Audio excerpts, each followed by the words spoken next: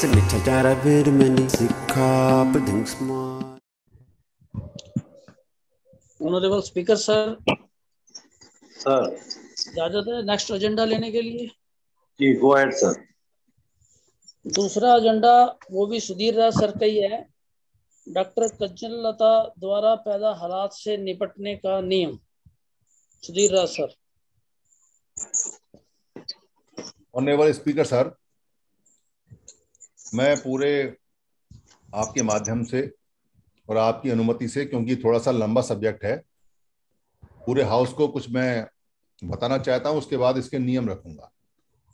थोड़ा सा लंबा प्रोसेस रहेगा, क्योंकि तो एक बात जो हमारे बुज़ुर्गों से हमने सीखी है और जो बड़े कमाल की है,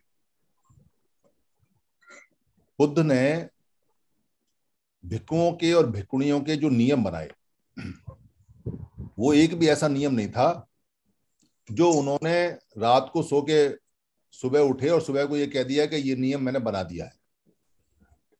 हर एक सूत्र हर एक नियम के पीछे एक कहानी है, एक समस्या है।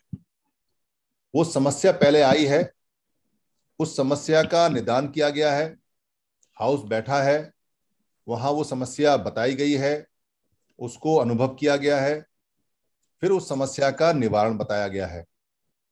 और फिर उस निवारण को सब लोगों को बताकर उनको रटवाया गया है कि भाई इस समस्या का, इस तरह की समस्या का ये है। कोई भी नियम बिना किसी समस्या के या बिना किसी स्टोरी के या बिना किसी कारण के आया ही नहीं। वैसे ही जैसे जैसे यहाँ समस्याएँ आती जा रही हैं और जैसे जैसे यहाँ चीज़ें अच्छी और खराब होती जा रही हैं, वैसे वैसे यहाँ नियम बनते जा रहे हैं। जो लोग शुरू से जुड़े हैं वो सब जानते हैं कि यहाँ क्या हो रहा है, क्या नहीं। पर जो लोग नहीं जानते हैं, जो नए बाद में आए हैं, उनके लिए मैं आज सारा का सारा बताना चाहूँगा और सब लोग ध्यान से सुने ताकि जब वो फ़ील्ड में जाएँ और जब बातचीत हो तो उनका पूरा का पूरा सिस्टम का पता रहे कि संघ कैसे चलता है और कैसे बनता है और कैसे संघ बना और कैसे संघ चला। और बिल्कुल ऐसे सोचें कि जैसे हम प्राचीन काल में चले हुए हैं। जब हमने यहाँ काम शुरू किया काम तो बहुत पहले से स्टार्ट हो गया था। लगभग 2001-2002 से ये बात तय हो गई थी कि जब तक संघ नहीं होगा जब तक हम साथ नहीं होंगे जब तक हमारा पुराना सिस्टम नहीं होगा और हम सारे लोग एक साथ नहीं होंगे हम जीत नहीं सकते। पर इस बात को कोई मानता नहीं था क्योंकि उस समय हालात बहुत बढ़िया थे। लोगों को रोज़गार रोटी छोटा मोटा जो मिलता रहता था मिलता रहता था। पूरा तो नहीं मिला उनको ना ही संविधान मिला पर लोगों को चिंता नहीं थी इस बात की कि उनको संघ जैसी कोई नेचुरल बॉडी भी बनानी है या नहीं बनानी है। लोग संगठन बना के अपना काम कर रहे थे, कुछ लोग पॉलिटिक्स में लगे हुए थे, पर समय तेज़ी से खराब होता चला गया और पिछले कुछ सालों से तो बहुत ज़्यादा खराब होता चला गया तो कुछ लोगों को ये बात समझ में आने लगी कि हमको यूनाइट होना चाहिए, इकट्ठा होना चाहिए। और कुछ लोग इस बात में लगे रहे लोगों को ये कहने में कि भाई संगठन से बात नहीं बनेगी, हमको इकट्ठा होना पड़ेगा, इन संगठनों को सबको मर्ज करो इकट्ठा करो, एक साथ करो, एक साथ आओ। पर संगठन बात सुनने को तैयार नहीं। कई बार प्रयास हुए, बहुत लोगों ने प्रयास किए, हमने भी प्रयास किया, पर वो सब एक्सरसाइज ये तो नहीं कह सकते कि वो एक्सरसाइज खराब गई, पर उससे हमें यह अकल आ गई कि भाई ये संगठन नहीं इकट्ठे हो सकते, इनकी बेसिक प्रॉब्लम्स भी हमें समझ में आ गई। तो यहाँ कोविड के टाइम में ये जो पोर्टल स्टार्ट हुआ, ये ऐसे ही स्टार्ट हुआ था कि उससे पहले ये तय हुआ था कि जब संगठनों से बातचीत करके फेल हो गए हम लोग तो ये तय हुआ कि भाई लोगों से बात की जाए। और इसका अल्टीमेटम संगठनों को दिया भी गया था, बाकायदा लिखित में है कि अगर आप सब लोग 14 अप्रैल 2020 तक इकट्ठे नहीं होते हैं तो हम फिर 14 अप्रैल 2020 को लोगों से बात करना शुरू करेंगे कि भाई अब क्या किया जाए और हमको इकट्ठा होना चाहिए और इनका राशन पानी बंद करना चाहिए। ये राशन पानी बंद करने का आइडिया बहुत पहले उस समय आ गया था जब संगठनों ने बात करने से भी मना कर दिया। और वो सारे के सारे ये कह रहे थे कि हमारे नीचे आ जाओ, हमारे नीचे आ जाओ। अब कितने संगठनों के नीचे कौन कौन आएगा, वही बात रहेगी तो उससे फ़ायदा तो होना नहीं और नुकसान ज़्यादा हो रहा है। तो यहाँ जब जूम पर स्टार्ट हुए तो जूम पर लोग मिलने लगे और जूम पर सब तरह के लोग आने लगे। तो जूम पर जब लोग आने लगे तो वहाँ जब प्रोसेस स्टार्ट हुआ तो शुरू में आठ आदमी जो ज़्यादा काम करने वाले थे, वो चुने गए। भाई, ये आज से स्पोक हैं। स्पोक का मतलब ये भिक्कू की तरह जीवन है, इनका ये भिक्कू की तरह काम करेंगे। स्पोक का मतलब प्रचार करेंगे, काम करेंगे। आठ लोग बने। जब ये आठ लोग बने तो समस्या शुरू होनी, आनी शुरू हो गई। सबसे पहली समस्या क्या आई? सबसे पहली समस्या ये आई कि उस समय एंकरिंग मैं करता था सारी सारी तो हमारे एक दो साथी जो साथ में चल रहे थे, उनको लगा, अरे, ये तो यही एंकरिंग करता है। और कोई एंकरिंग करता नहीं, इसी की ज़्यादा बात चलती है। तो हमारे एक दो साथियों ने एंकरिंग करने के लिए कहा भी कर लो। तो हम भी चाहते थे करें, इसलिए एंकरिंग को अपने पास रखा नहीं, पर वो एंकरिंग में चल नहीं पाए फेल हो गए। और लोग एंकर आए बाद में, वो कामयाब हुए। तो यहाँ एक डॉक्टर आए, जो हरियाणा के डॉक्टर थे। उन्होंने कहा डॉक्टर्स की मीटिंग करनी है और उनको, उनका पट्ठाक बनाया गया। यानी कि वो प्रमुख रहेंगे, वो करेंगे। उन्होंने मुझे फ़ोन किया, बड़ी मीठी आवाज़ में, बड़ा सुरीला और बड़ा चाशनी से भरा हुआ फ़ोन करते थे। जैसे ही चाशनी जैसी आवाज़ कान में पड़ती है, फ़ौरन ही मेरे ब्रेन के अंदर ये सिग्नल आ जाते हैं कि इस बंदे को कुछ चाहिए। ये सीधी सीधी बात नहीं कर रहा, सपाट नॉर्मल बात नहीं कर रहा, चाशनी में डुबो डुबो के कर रहा है। कोई ना कोई तो चक्कर है जो ये इतना मीठा बोल रहा है। वो व्यक्ति यहाँ चार आदमी इकट्ठे हुए नहीं अपने वर्चस्व में, उसने कई कहानियाँ सुनाई, मैंने साहब काशीराम जी के साथ काम किया, ये क्या, वो किया, हमने वेरीफाई नहीं किया, क्योंकि जिसके थ्रू वो आया था, वो आदमी हमारा बहुत पुराना मित्र था। पता चला कि वो व्यक्ति अपने पर्सनल काम के लिए यहाँ आया था, उसे किसी बड़े अफसर से किसी के थ्रू काम कराना था, और वो व्यक्ति यहाँ अपने आप को हाईलाइट करना चाहता था। फिर बाद में पता चला कि इस व्यक्ति का तो व्यवचार बहुत ज़बरदस्त है, इसकी जो खुद की पत्नी है, वो बड़ी परेशान है और उस व्यक्ति ने यहाँ पर ना बेकार बेकार सी बातें करनी शुरू करी। मतलब ऐसी बेकार बातें जो एक व्यवचारी आदमी करता है। और वो व्यक्ति संघ के ऊपर, तब तक संघ का नाम नहीं आता था, खाली विदा पीपल था। वो विदा पीपल में इधर उधर की बातें करके इल्ज़ाम इल्ज़ाम लगा के वो चला गया। उसने डॉक्टर सीमा प्रकाश पे भी इल्ज़ाम लगाया, और भी लोगों पर लगाया, पर वो चला गया। उसकी जो पत्नी थी, वो यहाँ रही कुछ दिन तक, वो भी अपनी परेशानी की वजह से रही। कुछ लोगों ने उसकी मदद भी की। पहली बार वो बंदा यहाँ से गया। तो हमारे कान खड़े हुए कि भाई यहाँ लोग अपने पर्सनल काम के लिए भी आएँगे। आते तो सब जगह भी हैं, पर सोच रहे थे कि यहाँ नहीं आएँगे, पर वो आए। फिर हमारा जो एक साथी, खास तौर से मेरा साथी जो आठ दस साल मेरे साथ रहा, उसने देखा कि काम चल गया तो वो बड़ी मीठी मीठी बातें करा था। उसने कहा, सुधीर जी, नेता आप ही रहोगे हमारे। ऐसा करो, इनको अलग अलग कुछ लोगों को अलग अलग ज़िम्मेदारी दे के उनका पदाधिकारी बना दो और फिर हम देखेंगे और उसने गाली दे के भी कहा कि मैं इनके साथ देखूँगा पॉलिटिक्स कैसे होती है और आप धम्म देखना।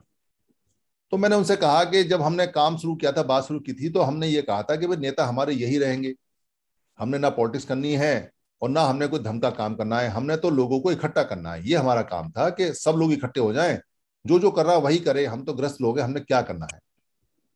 उस व्यक्ति को थोड़ा सा धक्का लगा। उसने सोचा कुछ था। वो व्यक्ति बड़े कंफर्टेबल जोन में था सात आठ लाख रुपए महीने की उसकी नंबर एक की आमदनी है। हर तीन चार महीने में एक फ्लैट खरीद लेता है, पर वो पैसा वैसा नहीं खर्च करता। मैंने इसलिए इसलिए आपको बोल रहा हूँ, क्योंकि एक जूम को जब पोर्टल को रिचार्ज कराने के लिए मैंने कहा कि अपना कार्ड दे देना, उसके पास कार्ड होते हुए भी उसने मना कर दिया। कार्ड नहीं दिया। और जब मैंने एक बार ये कहा कि चलो काम स्टार्ट करते हैं एक एक लाख रुपए मिला लेते हैं सारे लोग मिलके तो उसने कहा, जी, हम पैसा क्यों देंगे? पैसा लोग लोग देंगे। तो पता चला तो मैंने उसका प्रपोजल मना कर दिया कि जी, ये बात तय नहीं हुई थी, मैं अपनी उसी बात पे आज भी अडिग हूँ, जो बात हुई थी। आपने अगर यहाँ नेता बनाने, पद देने हैं तो आप हाउस में प्रपोजल ले आओ, उसे पास करा लो। मैं इसमें मदद नहीं कर सकता। तो सज्जन थे, वो भी अनाप शनाप बोल बाल के चले गए। और यहाँ तक कि उन्होंने कई सारी बातें ऐसी कह दी, जो उनको नहीं कहनी चाहिए उनकी उम्र को शोभा नहीं देती, उनको नहीं देती। कह गए तो कह गए, बात खत्म हुई वो चले गए। उसके बाद मेरे एक परम मित्र आए जो बाम सेफ़ में काम करते थे, क्योंकि सब मित्रों को लेके आए थे यहाँ। वो बाम सेफ़ का कहीं काम, किसी स्टेट में काम चलाते हैं। उन्होंने फ़ोन करके एक दिन बड़ा मीठा मीठा कहा कि, सुधीर जी, ये जो आठ आदमी शुरू में लिए हैं, इन आठों को ही रखना। और नेता आप ही रहोगे और देखो, अब हमें ना इसका प्लान बना लेना चाहिए। मैंने उनसे कहा, देखो, प्लान वाली कोई चीज़ चलती नहीं है और ये आठ पे नहीं रुकेगा। हम तो इसको नेचुरल वे में जो चलता है, जैसे हमने देखा है, इसमें तो दसियों हज़ार लोग आने हैं और सब बराबर रहेंगे। उन्होंने कहा, ऐसे तो चलेगा नहीं। मैंने कहा, चले या ना ना चले, पर ऐसा नहीं रहेगा। फिर तो आठ लोग अगर आपने बनाए तो ऐसे तो आठ आठ लोग वाले बहुत संगठन है, किसी में चले जाओ। तुमने भी संगठन बना रखा है, उसी में क्या दिक्कत है? पर वहाँ उनका वो स्टेट लेवल लेवल का काम कर रहे हैं। वो काम कहीं पहुँचा नहीं है आगे। अभी हार, मैंने पूछा, क्या है, क्या नहीं है? तो कह रहे, जी अंबेडकर भवन बना रहे हैं। अरे भाई अंबेडकर पूरा जीवन लगा दिया, संगठन चला चलाते खाली एक अंबेडकर भवन बनाओगे। क्या क्या रिज़ल्ट आया, क्या नहीं आया? तो वो यहाँ अपनी नेशनल पहचान के लिए आए। वो अभी भी कुछ ना कुछ बोलते बालते रहते हैं। मैं अभी भी कहता हूँ कि नहीं, बात वही बनेगी जो सब लोग चाहेंगे। तो ये समस्या आई। उसके बाद में यहाँ फिर कुछ लोग और आते गए। कुछ लोगों को हमने देखा कि यहाँ जो आए, उसमें दो प्रकार के लोग आए जो एजड लोग थे, जो बूढ़े लोग थे। एक तो वो लोग थे जिन्होंने ये कह दिया कि ये काम बहुत बढ़िया चल रहा है, इस काम में पूरी ताकत लगानी है, हम इस काम के साथ हैं, ये काम बहुत बढ़िया है। और दूसरे प्रकार के लोग वो आए जिन्होंने ये कहा कि हमने पूरी ज़िंदगी में ये काम किया, ये किया, हम ये थे, हमारा पद ये था, हमारा पोस्ट ये था, हम ऐसे थे, हम वैसे थे। और हमें उस काम की इज़्ज़त मिलनी चाहिए और उस, और हमारी सुनो और हमारी बात मानो। तो उन लोगों को ये कहा गया कि भाई बात तो संघ की मानेंगे। आप संघ को मना लो, आप अपनी बात रखो संघ आपकी बात मानता है, हमें तो कोई ऐतराज नहीं है। जहाँ इक्यावन परसेंट लोग होंगे, हम तो वही काम करेंगे, क्योंकि संघ की ये, या वी द पीपल की ये खास बात है कि यहाँ नियम वही होंगे। उनमें इतनी क्षमता नहीं थी कि वो अपनी बात को मनवा सके संघ से, क्योंकि बात ही उनकी गलत थी। और मैंने साफ़ कह दिया कि बात आपकी चल नहीं पाएगी, क्योंकि नेचुरल बात नहीं है। ये संघ के लोग बड़े समझदार लोग हैं तो यहाँ दो तरह के लोग आए, जो एजड लोग थे। पर हमने किसी की ना तो इंसल्ट की, ना मान किया, ना सम्मान किया हम नेचुरल रूप में वैसे रहे। अच्छा किया तो अच्छा बोल दिया, खराब किया तो खराब बोल दिया। हमने चापलूसी नहीं की, यानी संघ ने चापलूसी नहीं की। ये बात चलती रही। उसके बाद में कुछ लोग और आए। उनको अपने स्टेट उनको अपना स्टेट बड़ा प्यारा लगा। एक बार उनके कार्यक्रम लगा स्टेट का, राजस्थान स्टेट की बात है। और अपने ही राजस्थान के लोगों को उन्होंने अनाप शनाप बोल दिया, जिनको मैंने बुलाया था। वो आपस में ही लड़ बैठे। मतलब जिन लोगों को मैंने बुलाया राजस्थान के और वो राजस्थान के दिन का स्पेशल कार्यक्रम और वो लोग राजस्थान के थे। मैंने कहा, भाई, तुम क्या कर रहे हो? तुमने तो यहाँ पोर्टल पे कब्जा कर लिया माइक पे कब्जा कर लिया। अगर राजस्थान का डे है, तुम तो राजस्थान के लोगों को नहीं बोलने दे रहे हो। कमाल कर दिया तुमने तो। इस बात को उन्होंने अपने दिल से चिपका लिया कि हमको सबके सामने ऐसा क्यों कहा? क्योंकि मेरी आदत है, मैं तो बोल देता। हालाँकि कुछ बातें मैंने छुपाई भी हैं, जिससे बड़ा नुकसान हुआ है। मैं बताऊँगा आज आपको कि कौन सी बातें छुपा के संघ को बहुत बड़ा नुकसान हुआ है और उसका मैं दोषी भी हूँ। तो वो लोगों ने अलग चले गए, अलग पोर्टल खोल लिया, उनको लगा हमारी इंसल्ट हो गई। मैंने पूछा, भाई, क्या हुआ? तुम्हारे साथ क्या नहीं हुआ? कह रहे, जी, हमारी इंसल्ट हो गई। हमारी कोई गरिमा नहीं है क्या? तो मैंने कहा, भाई, तुम अपनी अकेले की गरिमा के लिए तो रो रहे हो और तुम्हें संघ की गरिमा दिखाई नहीं देती है। ये संघ की जो गरिमा है, ये तुम्हारी गरिमा से बड़ी कैसे हो गई? और अगर तुम इतने व्यक्तिवादी हो तो तुम संघ में काम कैसे करोगे? भैया, यहाँ तो संघ की गरिमा ही देखी जाती है, अपनी कोई गरिमा नहीं है। अगर संघ की गरिमा है तो हमारी गरिमा है। वो व्यक्ति अपनी बातों में उलझ गए, यानी कि और वो जो टूट के गए, जैसा कि प्राकृतिक नियम है कि पेड़ से अगर कोई ब्रांच टूटती है तो वो सूखती है ही, वो फलती नहीं है कभी भी, इसमें कोई शक नहीं है। चाहे कोई उसको कितना ही खाद पानी दे, दो चार पत्तियाँ वत्तियाँ तो निकल आती हैं, पर उसकी जड़ कभी नहीं निकलती, वो हमेशा गलती है, सड़ती है। ये नेचुरल प्रोसेस है। इसलिए दुनिया में जितने भी संघों से टूट टूट के लोग ब्रांच बना के गए हैं, वो सड़े ही हैं। चाहे उसमें देवदत्त हो बुद्ध के समय और चाहे उसके अंदर साहब काशीराम के साथ जो लोग थे जो टूट के गए, वो हैं। जब भी संघ के साथ टूट के जाएँगे, वो सड़ जाएँगे, वो पन, वो पनपते नहीं है या पूरी ज़िंदगी चिल्लाते रहेंगे उसके बाद काम चलता रहा, काम चलता रहा। जब यहाँ काम चलना शुरू हुआ और बातचीत होने शुरू हुई तो ये हुआ कि भाई हमें दो महीने हो गए, हमको मिलना चाहिए। तो मिलने की बड़ी तीव्र इच्छा थी सबकी, क्योंकि यहाँ बड़ा अच्छा वातावरण रहता था। सब यहाँ अच्छे मन से बात करते थे, पर सबके एजेंडे अलग अलग थे, क्योंकि किसी के एजेंडे के बारे में हमने पूछा नहीं, ना ही ऐसी बात होती थी, जुड़ना है, जोड़ना है तो कोई अपने आर्थिक एजेंडे लेके आया। एक व्यक्ति ने कहा कि हम बैंक बनाएँगे, आर्थिक एजेंडे हैं, उसने बिना हाउस को कॉन्फिडेंस में लिए पैसे मांगने शुरू कर दिए, दो लोगों ने मिलकर हमने पता किया भाई पैसे क्यों मांगे? तो उनकी आर्थिक स्थिति, क्योंकि आर्थिक स्थिति इसलिए खराब थी कि हमने उनसे भी कहा कि, भाई आप कार्ड को रिचार्ज करा दो। पर कार्ड उन्होंने कहा, जी, हमारे तो सारे कार्ड ब्लॉक हैं। दोनों ने ये कहा। तो मेरा तो माथा ठनक गया। हाउस बैठा तभी, भाई, ये क्या चक्कर है? तो बोले, भाई, पैसा लेना ही नहीं ज़िंदगी में कभी। तो पैसे ना लेने का उस दिन नियम बन गया कि, भाई, पैसे नहीं लेने ज़िंदगी में कभी, ना कोई खाता खुलेगा ये झगड़े की जड़ है। वो नियम बन गया, वो पास हो गया। पुराने समय में भी कोई पैसा नहीं लेते थे, वो प्रूव हो गया, वो तय हो गया कि ये झगड़े की जड़ है। फिर उसके बाद में जब पानीपत के अंदर मीटिंग लगी तो वो मीटिंग हाउस से बहुत बार मांगी गई। जो पूनिया जी थे, पूनिया जी ने कहा कि हम मीटिंग कराना चाहते हैं, वो बार बार ऐसा दम भरते थे कि वो पैसा खर्च करेंगे और पैसा खर्च करने के लिए तैयार है। पूनिया जी और करमवीर जी दोनों साथ साथ दोस्त हैं, मैं उनको बहुत पहले जानता हूँ। तो कहा, भाई चलो मीटिंग कराना चाहते करा लो उन्होंने कहा सारा खर्चा हम उठाएँगे। भाई उठा लो, कोई दिक्कत नहीं है, हाउस ने पास कर दिया मीटिंग तय हो गई। तो वो पूनिया जी ने पैसे खर्च नहीं किए, ना ही वो करमवीर जी ने पैसे खर्च कर दिए। पर उसमें करमवीर सिंह के कहने पर किसी व्यक्ति ने, क्योंकि उनका काम आपस में होता रहता है, सब लोगों का ऐसे चलता है, कह के किसी ने कराया। वो भी स्पोक है हमारा, नाम नहीं लेता क्योंकि अच्छा नहीं है। उसने वो पैसा खर्च किया थोड़ा सा पैसा, टेन परसेंट पूनिया जी ने खर्च किया और टेन परसेंट जो पैसा है वो हाउस ने खर्च किया, क्योंकि वीडियो रिकॉर्डिंग और फोटोग्राफी हाउस की तरफ़ से गई थी। बहुत अच्छे वातावरण में पहली बार हाउस लगा, हाउस लगना सीखा, हमने देखा। वहाँ पर जो डॉक्टर उमा शंकर लाल थे, वो आए हुए थे। पीछे की लाइन में बैठे थे, उन्होंने कहा, जी, मैं डॉक्टर की एक संगति कराऊँगा। अच्छी बात है, डॉक्टर की संगति होनी चाहिए, क्योंकि डॉक्टर यूवी सिंह भी बड़े मन से लगे, डॉक्टर सीमा प्रकाश भी लगी, और जो डॉक्टर थे, वो भी आने लगे। तो वहाँ अच्छे अच्छे खासी बात हुई तो वहाँ तय हो गया कि दिसंबर में मीटिंग लगेगी। अच्छा सभी परिवार की तरह लगे हुए थे तो किसी ने कोई मन में कड़वाहट नहीं, कुछ नहीं, बड़ी मीठी बातें, और सबने खूब पैसा खर्च किया डॉक्टर उमाशंकर लाल जी से ये कहा गया कि आप कमेटी बना लो। बड़ी मीटिंग है। बार बार फ़ोन करके कहा, कमेटी बना लो। उन्होंने कहा, बना लेंगे सर, बना लेंगे सर। तो मैंने कहा सबसे पहले आप जगह बुक करा लो। उन्होंने एक वो देखा रे रोड देखा, उन्होंने कहा कि वो हमारी परिचित डॉक्टर हैं, उनका है, सस्ते में हो जाएगा। कहने लगे, जी, वो वहाँ जो मिल रहा है, हज़ार रुपये पर हेड होगा। शायद सात सौ, साढ़े सात सौ रुपये पर हेड की करीब बात हुई थी। तो मैंने कहा, भाई, आप एक बार कमेटी बना लो, पास कर लो। कह रहा, बना लेंगे। उन्होंने कोई कमेटी नहीं बनाई। डॉक्टर रमेश चंद्रा भी लगे वहाँ पे, डॉक्टर स्वामी भी लगे जुड़े, और वो नेटवर्किंग भी तब तक कमेटी बन चुकी थी, वो नेटवर्किंग के मेंबर भी थे। डॉक्टर स्वामी भी नेटवर्किंग के मेंबर थे। तो वहाँ उन्होंने बिना कमेटी के कार्यक्रम किया। तो कहा उनको बार बार के कमेटी बनाओ अच्छा रहता है, पर उन्होंने नहीं किया, पर कार्यक्रम हो रहा था। तो हर व्यक्ति वहाँ गया, वहाँ सौ से ज़्यादा लोग गए नॉन मेडिकल वाले, और अपने साथ डॉक्टरों को लेके गए। जो नॉन मेडिकल वाले थे, वो बिना डॉक्टर के नहीं गए। पर उन्होंने डॉक्टरों को कहने में पूरी ताकत लगाई। उसका रिज़ल्ट ये हुआ कि वहाँ पौने तीन, दो सौ अट्ठानवे करीब, यानी तीन सौ के आसपास लोग आए और पैसा भी आया। डॉक्टर यूएस लाल ने अपने आप पेमेंट की, अपने आप सारा किया, सारी बातें हो गई। तो मुझे इतना एक्सपीरियंस है कि भाई, अगर 24 घंटे में सामाजिक कार्यक्रम का हिसाब ले लेते हैं तो वो 100 परसेंट ठीक मिलता है। वैसे तो हैंड टू हैंड होना चाहिए, क्योंकि लिखा हो तो हाथ क्या हो जाए कि भाई इतना पैसा खर्च हुआ इतना नहीं। जैसे हमने पंद्रह तारीख को बता दिया कि भाई ये हॉल इतने में आया, ये खाना इतने में आया, ये इतने में आया, हमने पूरे हाउस को बता दिया। और जो हमारे गिल सर हैं, उन्होंने पूरा हिसाब बता के और वो हाउस में दे दिया कि भाई इतने का घाटा, इतने का फ़ायदा है और ये चीज़ ऐसे ऐसे हुई है। चालीस हज़ार रुपये घाटा उसमें आया तो बता दिया। तो डॉक्टर यूएस लाल और डॉक्टर स्वामी को मैंने कहा कि भाई मैं यहाँ रुका हुआ हूँ, आप यहाँ आ जाओ। तो वो स्वामी सर तो आ नहीं पाए डॉक्टर यूएस लाल आए तो उन्होंने कहा कि बहुत बढ़िया था, बहुत बढ़िया माहौल था, इसमें कोई शक नहीं है।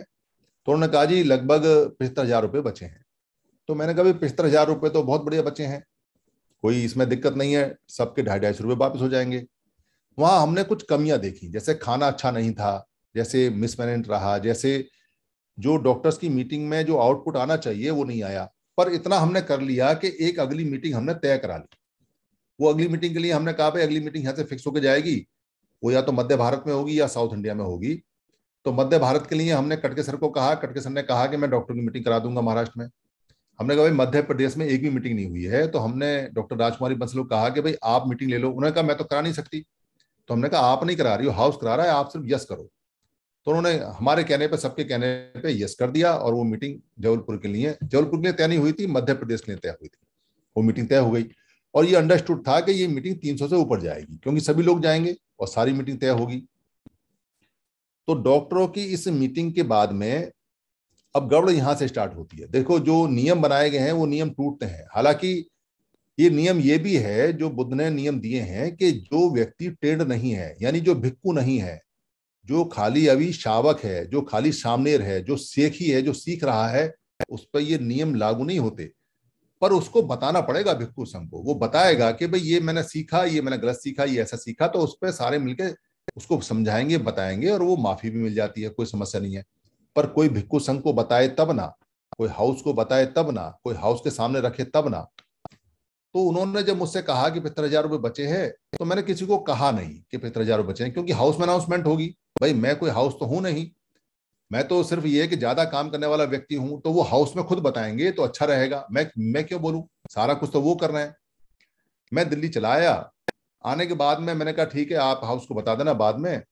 तो उन्होंने कहा, जी, हमने इतना पंद्रह हज़ार रुपया पेट्रोल खर्च हुआ, वो हमने ले लिया और सत्रह हज़ार रुपये डॉक्टर रमेश जी के खर्च हुए थे, वहाँ पे मकान में रुकवाने के लिए वो खर्च हो गए, बत्तीस हज़ार रुपये खर्चा इसमें घट गया है। और तीन एक हज़ार रुपये जो चार वो कमरे बुक करवाए थे, उसका एक्स्ट्रा गया। तो ऐसे करके पैंतीस एक हज़ार रुपया लगभग चला गया। अब मैं क्या बोलता? क्योंकि मैं कोई हाउस तो हूँ नहीं। तो मैं, यहाँ मुझसे एक मिस्टेक हुई कि मेरे को ये बात, अगर जानकारी में थी तो हाउस को बतानी चाहिए थी। पर मैं इस चक्कर में रुक गया कि भाई ये खुद कहेंगे हाउस से, जब हाउस हिसाब पूछेगा तो खुद खुद बताएँ। तो उन्होंने हाउस ने हिसाब पूछा नहीं, उन्होंने बताया नहीं। फिर निरंकारी सर ने पूछा हाउस में कि जी क्या खर्चा हुआ? वो आए थे, हज़ार रुपया दिया था।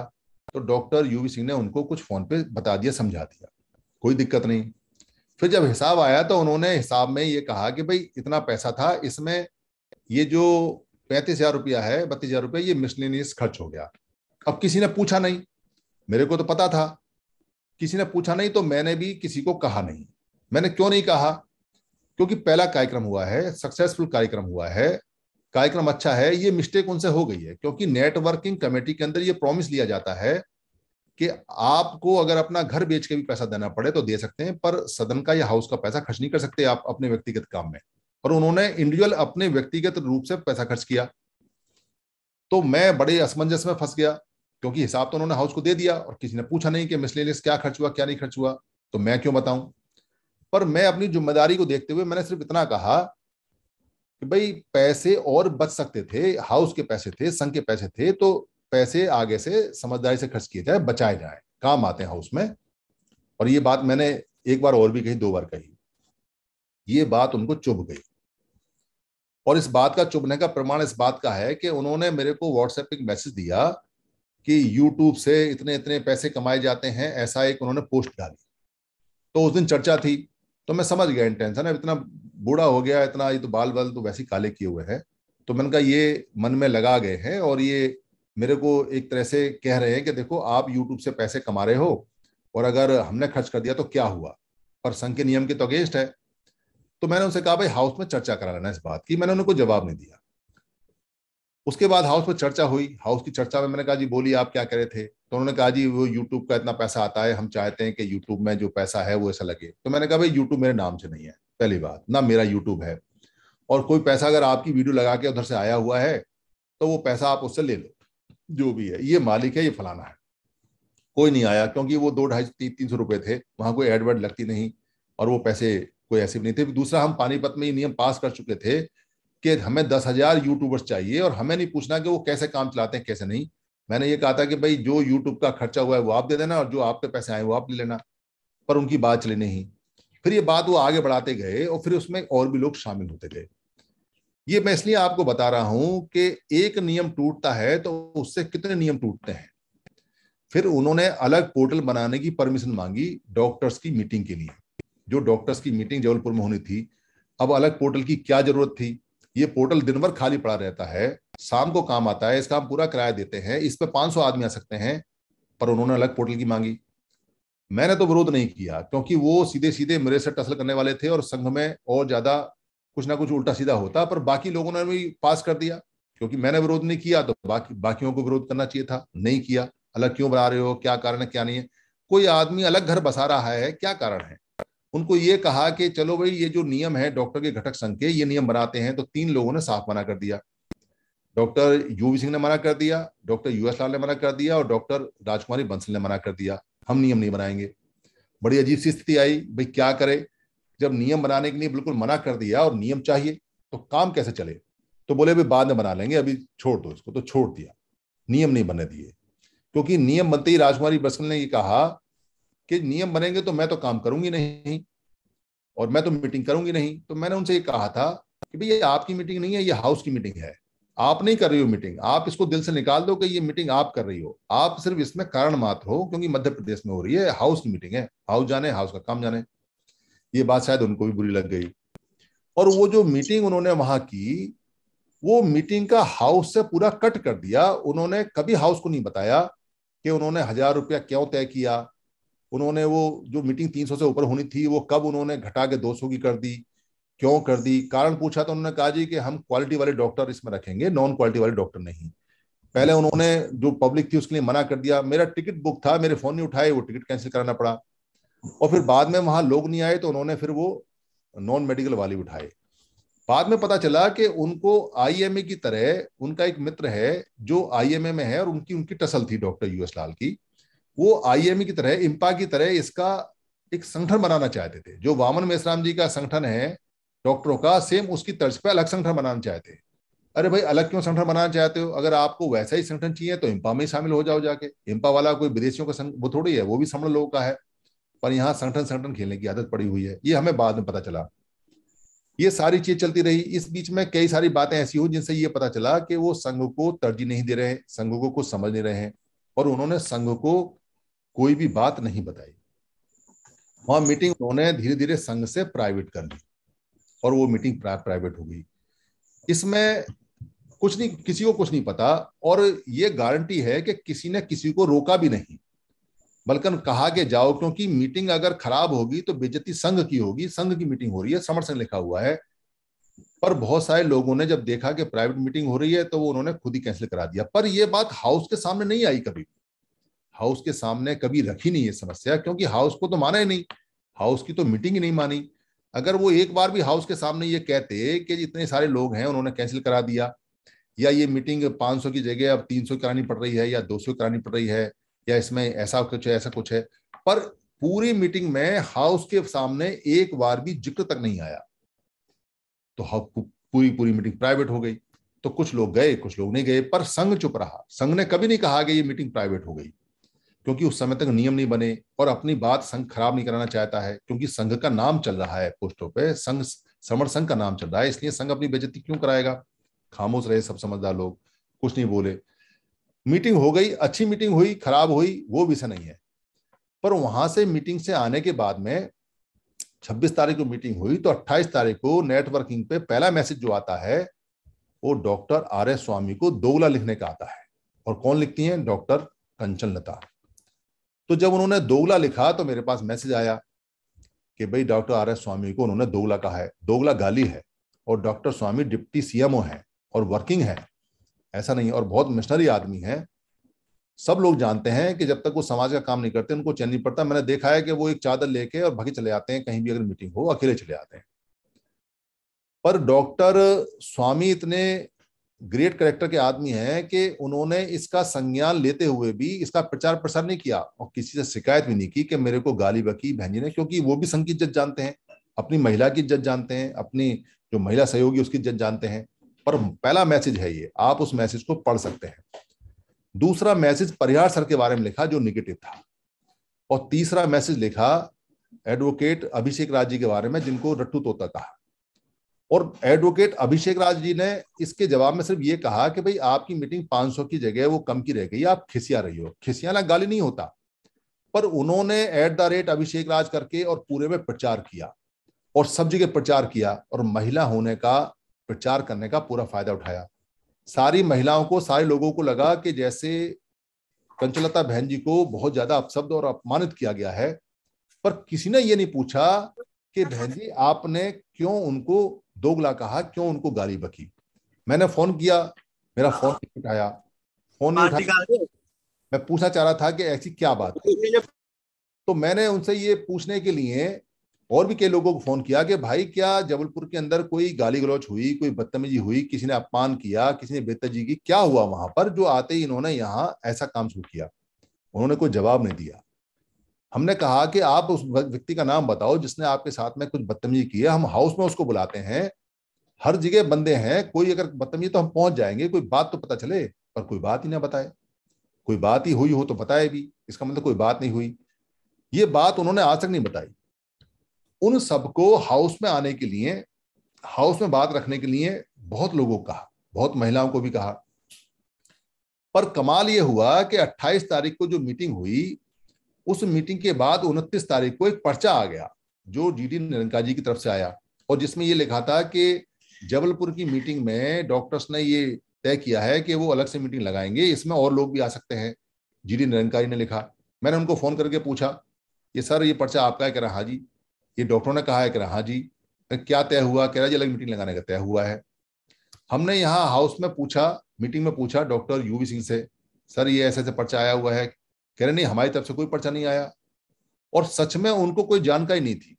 उनको जानकारी इसलिए नहीं है क्योंकि उनकी एक समीक्षा मीटिंग हुई थी। जो 28 जो 26 तारीख को जो उन्होंने वहाँ मीटिंग की, उसकी एक समीक्षा मीटिंग की थी। और उस समीक्षा मीटिंग के अंदर आर एस स्वामी जी ने नंबर भेजा, जो नंबर, जो उस मीटिंग का था, और उस समीक्षा मीटिंग में मैं एंटर किया और मैंने वो सारी सारी मीटिंग सुनी। और वो सारी मीटिंग सुनने के बाद में मैं ये पहुँचा इस, इस निष्कर्ष पे कि डॉक्टर यूपी सिंह को तो कुछ पता ही नहीं है। और ये सारा काम तो डॉक्टर राजकुमारी बंसल और ये डॉक्टर उमा शंकर लाल ने किया है। और डॉक्टर उमा शंकर लाल का तो मुझे समझ में आता है पर डॉक्टर राजकुमारी बंसल को ऐसी कौन सी आफत आ गई? ऐसा कौन सा किसी ने कुछ किया? तो ये बात समझ में नहीं आई। तो फिर मुझे वो बात याद आई जब राजकुमारी बंसल बहन जी ने ये कहा था कि मैं संघ में काम नहीं करना चाहती मैं कुछ बड़ा काम करना चाहती तो मैं समझ गया कि ये राजनीति की बात करनी है। तो मैंने उनसे कहा था कि बहन जी, राजनीति में कुछ नहीं रखा हुआ है। आप संघ में काम करो। तो मेरे कहने से वो उस समय रुक गई थी। पर यहाँ वो नियम बन गया कि राजनीति में संघ कभी जाएगा नहीं तो राजनीतिक लोगों के लिए यहाँ रास्ता बंद हो गया। हालाँकि रास्ता बंद नहीं हुआ है। हमने बार बार ये कहा है कि यहाँ से लोग राजनीति करने जा सकते हैं। वो संघी भी रहेंगे, पर एक्टिव संघी नहीं रहेंगे। पर उनको निवेदन करना पड़ेगा संघ से कि वो राजनीति में जा रहे हैं तो संघ उनकी मदद करने करे। अब निवेदन कौन करे? संघ को कौन बताए? संघ को कोई माने तब ना। जब संघ को मानना ही नहीं है तो कुछ भी करो।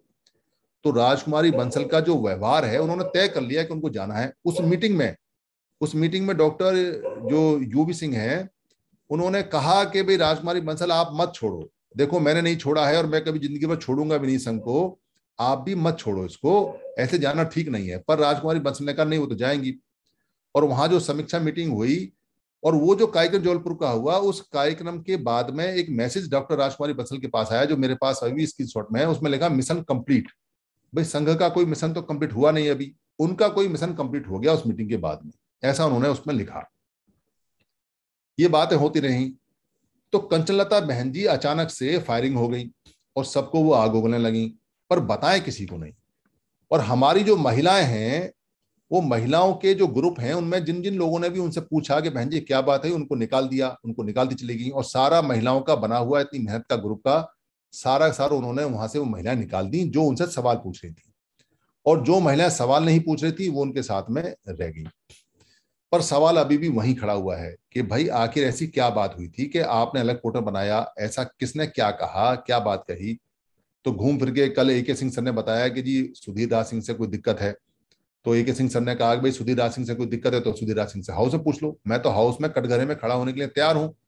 कोई भी बात मेरी छुपी हुई नहीं है और कोई बात अगर संघ को लगती है कि ये बात खराब है तो संघ हित में मैं तो जो आप कहोगे वो करने को तैयार हूँ। मुझे कोई समस्या नहीं है क्योंकि यहाँ तो पूरा जीवन संघ में लगाने के लिए हमने घोषणा की हुई है। पर अगर हम ही गलती करेंगे तो संघ चलेगा क्या और क्या नहीं चलेगा? पर कोई आए तो सही पूछने के लिए, कोई नहीं आता पूछने के लिए। कितनी बार कहा है कि भाई जो बात करनी है हमारे पास सूचना आई कि जी, पाँच आदमी उधर से बैठेंगे, पाँच आदमी आप आ जाओ, टेबल पे बात करेंगे। भाई, मैंने तो मना कर दिया, टेबल पर नहीं बात हो सकती। टेबल पे बात होती है नेगोशिएशन की, मोल भाव की, खरीदने बेचने की होती है, हम नहीं करेंगे टेबल बात। हम जो बात करेंगे, वो करेंगे संघ के सामने। संघ संघ अपना तय करेगा, क्योंकि संघ हमारा सुप्रीम है, संघ हमारा सबसे बड़ा है, व्यक्ति नहीं है। अगर हमें टेबल पे बात करनी होगी तो हम किसी पार्टी वार्टी में चले जाएँगे। भतरी पार्टियाँ घूम रही हैं और इतनी एबिलिटी तो है, जिस पार्टी पे उंगली रख देंगे, उस पार्टी में घुस जाएँगे। पर उससे कुछ बनता नहीं ना। बहुत सारे लोग एमपी बने एमएलए बने मिनिस्टर बने, दो चार एमपी एमएलए मिनिस्टर बन भी जाएँगे। क्या फ़र्क पड़ता है उनसे? कोई बात नहीं बनने वाली, बात तो संघ से बनेगी। जब हमें ये समझ में आ गया है तो ऐसी मुक्ता तो नहीं कर सकते हम। उससे कोई फ़ायदा होने वाला है नहीं। काम तो हम फ़ायदे नहीं करेंगे, कोई बेवकूफ़ तो है नहीं जो हम नुकसान के लिए करेंगे। तो कंचनलता बहन जी के उस व्यवहार के बाद से एक दिक्कत ये आनी शुरू हो गई कि कंचनलता बहन जी और दो तीन लोग और वो सारे के सारे लगातार लगातार फ़ोन करते रहे। इसमें बबी हीरा जी का भी लिखा हुआ है, रंगारी बहन जी पूछने का अपमानित किया गया, वो मैं बता दूँगा। क्योंकि कोई हाउस में आए तो पूछे तो बताए ना कि क्या अपमान है दरअसल अपमान तो वो करके गई हैं, पूरे हाउस का और हमारा, और कुछ बात ऐसी है, पर कोई हाउस में आता नहीं। फिर भी मैं बताऊँगा। तो कंचलता बहन जी और इन सबने फ़ोन करने शुरू किए। और वही बात, जैसे संगठनों को तोड़ने का, वो संगठन स्टाइल में, भाई फ़ोन उन्हीं को कर रहे हैं जिनको आप परिचित हो। और कंचलता बहन जी को इस संघ में आने से पहले कोई नहीं जानता था। वो उन्होंने अपनी नौकरी पूरी की, वो रिटायर हो गई, रिटायर होने के बाद संघ में आई और उन्होंने बहुत मेहनत से काम किया। उनकी जो सेंस है, उनका जो बात करने का तरीका है, जो पोलाइटली बात करती है, उससे संघ को बहुत फ़ायदा हुआ और संघ से ज़्यादा उनको फ़ायदा हुआ। पर संघ से एक गलती हो गई। उस गलती को दोबारा नहीं करना। इसलिए आज जो ये ये रखा हुआ एजेंडा इसलिए रखा हुआ है कि वो गलती हम दोबारा ना करें, क्योंकि गलतियों से हम सीख रहे हैं। वो जो उन्होंने मेहनत से काम किया उससे उनका फेस गया। उनका फेस गया और सारे लोग उनको पहचानने लगे। इससे पहले उन्हें कोई नहीं पहचानता था। कल भी वो रामराज की एक उसमें गई है क्या बोलते हैं मीटिंग में गई है। वहाँ तीन लोग गए थे रामराज की मीटिंग में। रामराज एक कांग्रेस के नेता है। अब तो उनका उदित राज नाम है। मुझे रामराज याद रहता है। तो वो वहाँ कांग्रेस के लीडर हैं वहाँ गई हैं। डॉक्टर कंचलता गई हैं वहाँ पर। वहाँ पर मनीषा निगम बहन जी गई हैं और वहाँ पर आ, आ, ये क्या बोलते हैं डॉक्टर राजकुमारी बहन जी गई हैं। तीनों वहाँ गई हैं, उनके फ़ोटो खींचे हुए वहाँ। भाई, आपको लगता है कि कोई कांग्रेस के नेता का जो जो उसका कार्यक्रम है, वो संघ के कार्यक्रम से बड़ा है तो बड़ी अच्छी बात है, संघ की इतनी इज़्ज़त ही आपको पता है, इसमें कोई क्या कर सकता है? जब कोई संघ को समझा ही नहीं है तो हम क्या कर सकते हैं उसको? संघ को समझा सकते हैं, कोई ज़बरदस्ती तो है नहीं। तो वहाँ जो कंचनलता बहन जी है, उन्होंने सबको फ़ोन करने शुरू करे। अच्छा महिला का फ़ोन जाए और किसी को पीछे की सारी बात पता ना हो और कोई पूछे ना तो कोई क्या करे? सरवन बहन जी से मेरी बात हुई, मैंने, बहन जी आपकी क्या बात हुई? उन्होंने कहा, उन्होंने अपने बच्चों की कसम खा ली, फिर मैंने कुछ नहीं पूछा। ये एक और समस्या है, क्योंकि अगर कोई महिला बच्चों की कसम खा ले, जाने और अनजाने में खा ले, और हाउस का फेस करे ना, हाउस में आके बात ना करे तो कोई क्या करे? सरवन बहन जी भी चुप, मैं भी चुप, अब क्या बोले इसमें कोई? तो ये जो मुगालते और ये जो अनजाने में या जो जान के चीज़ें हो रही हैं इसका बुद्ध के समय और बुद्ध के टाइम में सबसे बड़ा जो तरीका था, वो था निदान का। वो था कन्फेशन का। वो था हाउस के आगे हर पंद्रहवें दिन में बताने का। दूसरों की गलती, अपनी गलती। क्या गलती है, क्या नहीं है? वो प्रोसेस हम नहीं कर पाए। अगर वो प्रोसेस हमने शुरू से स्टार्ट कर लिया होता तो ये जो घटना घटी है और जो नुकसान हुआ है, नुकसान सच में हुआ है। नुकसान इसलिए हुआ है कि पके पकाए लोग चले जाते हैं। कुछ आधे कच्चे लोग भी चले जाते हैं। कुछ संगी नहीं बनते। एक व्यक्ति आता है, तीन व्यक्ति को साथ लेके आता है। हम सोचते हैं जो तीन व्यक्ति को लेकर आया, वो संगी बन गए। पर पता चला वो संगी नहीं बने, वो तो उसके रिश्तेदार हैं। वो संघ में शामिल ही नहीं हुए, ना उनको संघ समझ में आया। वो रिश्तेदार के साथ आए और रिश्तेदार के साथ चले गए। जो लेके आता है उसके साथ चले जाते हैं।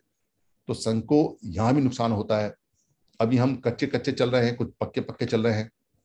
इसलिए ये निदान का जो नियम है, हालाँकि समय इसका हो गया, पर ये पहले आ जाता तो ये बातें नहीं होती। अब ये बातें नहीं होंगी क्योंकि अब लोगों को, जो कच्चे कच्चे लोग हैं, उनको पकाया जाएगा और उनको बताया जाएगा कि भाई आपकी ये गलती है, आपकी ये मिस्टेक है, उनको बताया जाएगा ताकि ये फ़िल्टर होता रहे। पर कंचलता बहन जी ने फ़ोन कर करके कर करके कर करके बड़ा सारा नुकसान हुआ और बहुत सारी चीज़ें हमारी खराब हो गई। क्या खराब हुई? सबसे ज़्यादा खराबी तो हमारी इस बात में हुई कि हमारा, जो हमारे विरोध में लोग थे, उनको एक मौका मिल गया। कहने का कि अरे इनमें टूट गया। हालाँकि समर संघ नहीं टूटा। उन्होंने पे बैक टू सोसाइटी के तहत वो काम कर रहे हैं और वो आज भी सारे समर संगी है। वो जानते हैं कि वो समर संगी है और हमारा कोई उनसे द्वेष नहीं, कोई वैमनस्य नहीं है, कोई हमारा दुर्भाव, व्यवहार नहीं है। पर कटाक्ष हो रहे हैं, कोई कहता है जी कमेंट ये लिख दिया, कोई कहता है जी कमेंट वो लिख दिया, कोई कुछ वो कहते हैं, कोई कुछ वो कहते हैं। ये बातें चलती रहती हैं। उससे क्या होता है? कन्फ्यूज़न पैदा होता है। जो हमारे सारे लोग हैं, उनको खुद नहीं पता कि हुआ क्या क्या नहीं हुआ। जो बातें बीच में से आती हैं, उनकी कड़ियाँ नहीं जुड़ती तो पूरी बातों का पता नहीं चलता। और एक तरफा बात की कभी सच्चाई नहीं होती। जैसे मैंने ये सारा आपको बताया है, ये सारा सच। मगर ये सच तब मज़बूत होगा जब सामने वाले लोग भी आए और इन बातों को काटें और अपनी बात कहें। पर कोई आता नहीं। हज़ार बार कहा कि आओ भाई बैठ के बात कर लो। पाँच सौ लोगों को पोर्टल है, पाँच सौ लोगों में बात बात कर लेते हैं। पर अकेले में बात करना चाहते हैं, हम नहीं करना चाहते अकेले बात।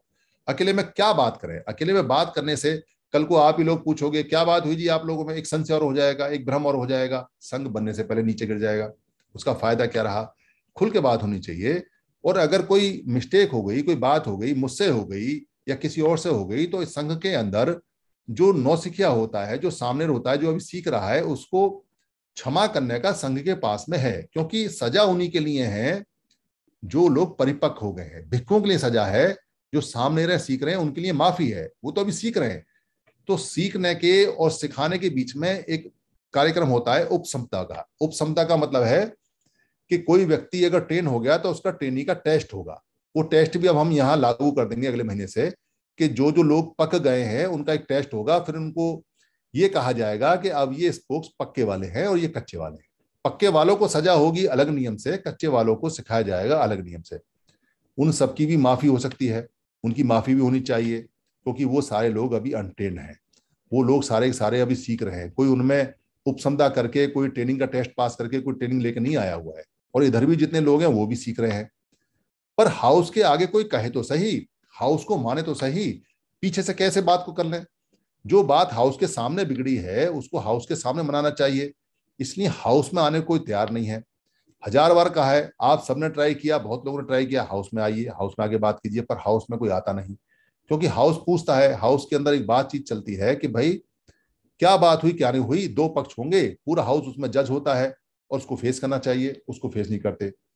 तो क्या नुकसान हुए कंचलता बहन जी के जाने से? ग्रुप से निकालना आरंभ हुआ। किसी को एडमिन से हटा दिया, किसी को ग्रुप से हटा दिया, कुछ महिलाएँ चली गई, कुछ ग्रुप बंद हो गए, कुछ ग्रुप खराब हो गए। तो मैं यहाँ एक बात तो ये प्रस्ताव करता हूँ हाउस के सामने कि ग्रुप की जितनी भी जानकारी है, वो यहाँ डिटेल वर्किंग कमेटी को होनी चाहिए। यानी कि डिटेल जो कमेटी है, उसका एक आदमी उसमें एडमिन होना चाहिए। और अच्छा तो ये रहे कि ग्रुप को स्टार्ट ही डिटेल कमेटी करे ताकि वो संघ की प्रॉपर्टी रहे।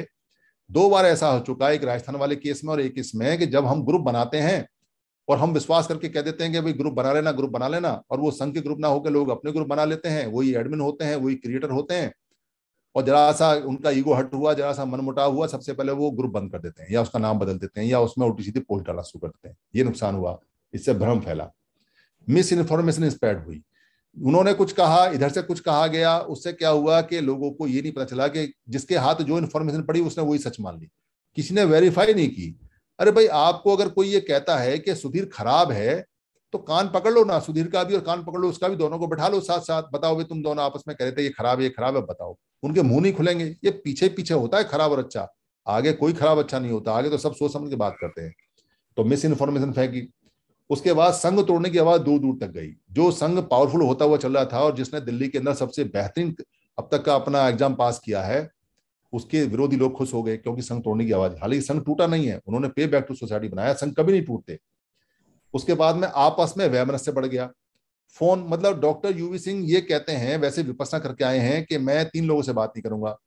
एक डॉक्टर वीरेंद्र सिंह से बात नहीं करूँगा, एक डॉक्टर रमेश चंद्रा से बात नहीं करूँगा और एक एक सुधीर राज से बात नहीं करूँगा। और तीनों को वो ओपनली बोलते हैं। भाई, आप बात क्यों नहीं करोगे? आप सामाजिक आदमी हो, हम सामाजिक आदमी है। हमने आपके कौन से बैंक अकाउंट से पैसे ले लिए? या आपने कौन सी हमारी ज़मीन जायदाद अपने नाम करा ली? हमारी कौन सा वैमनस्य है? हम सामाजिक प्राणी है। मैं तो समाज के नाते सबसे बढ़ जाता हूँ।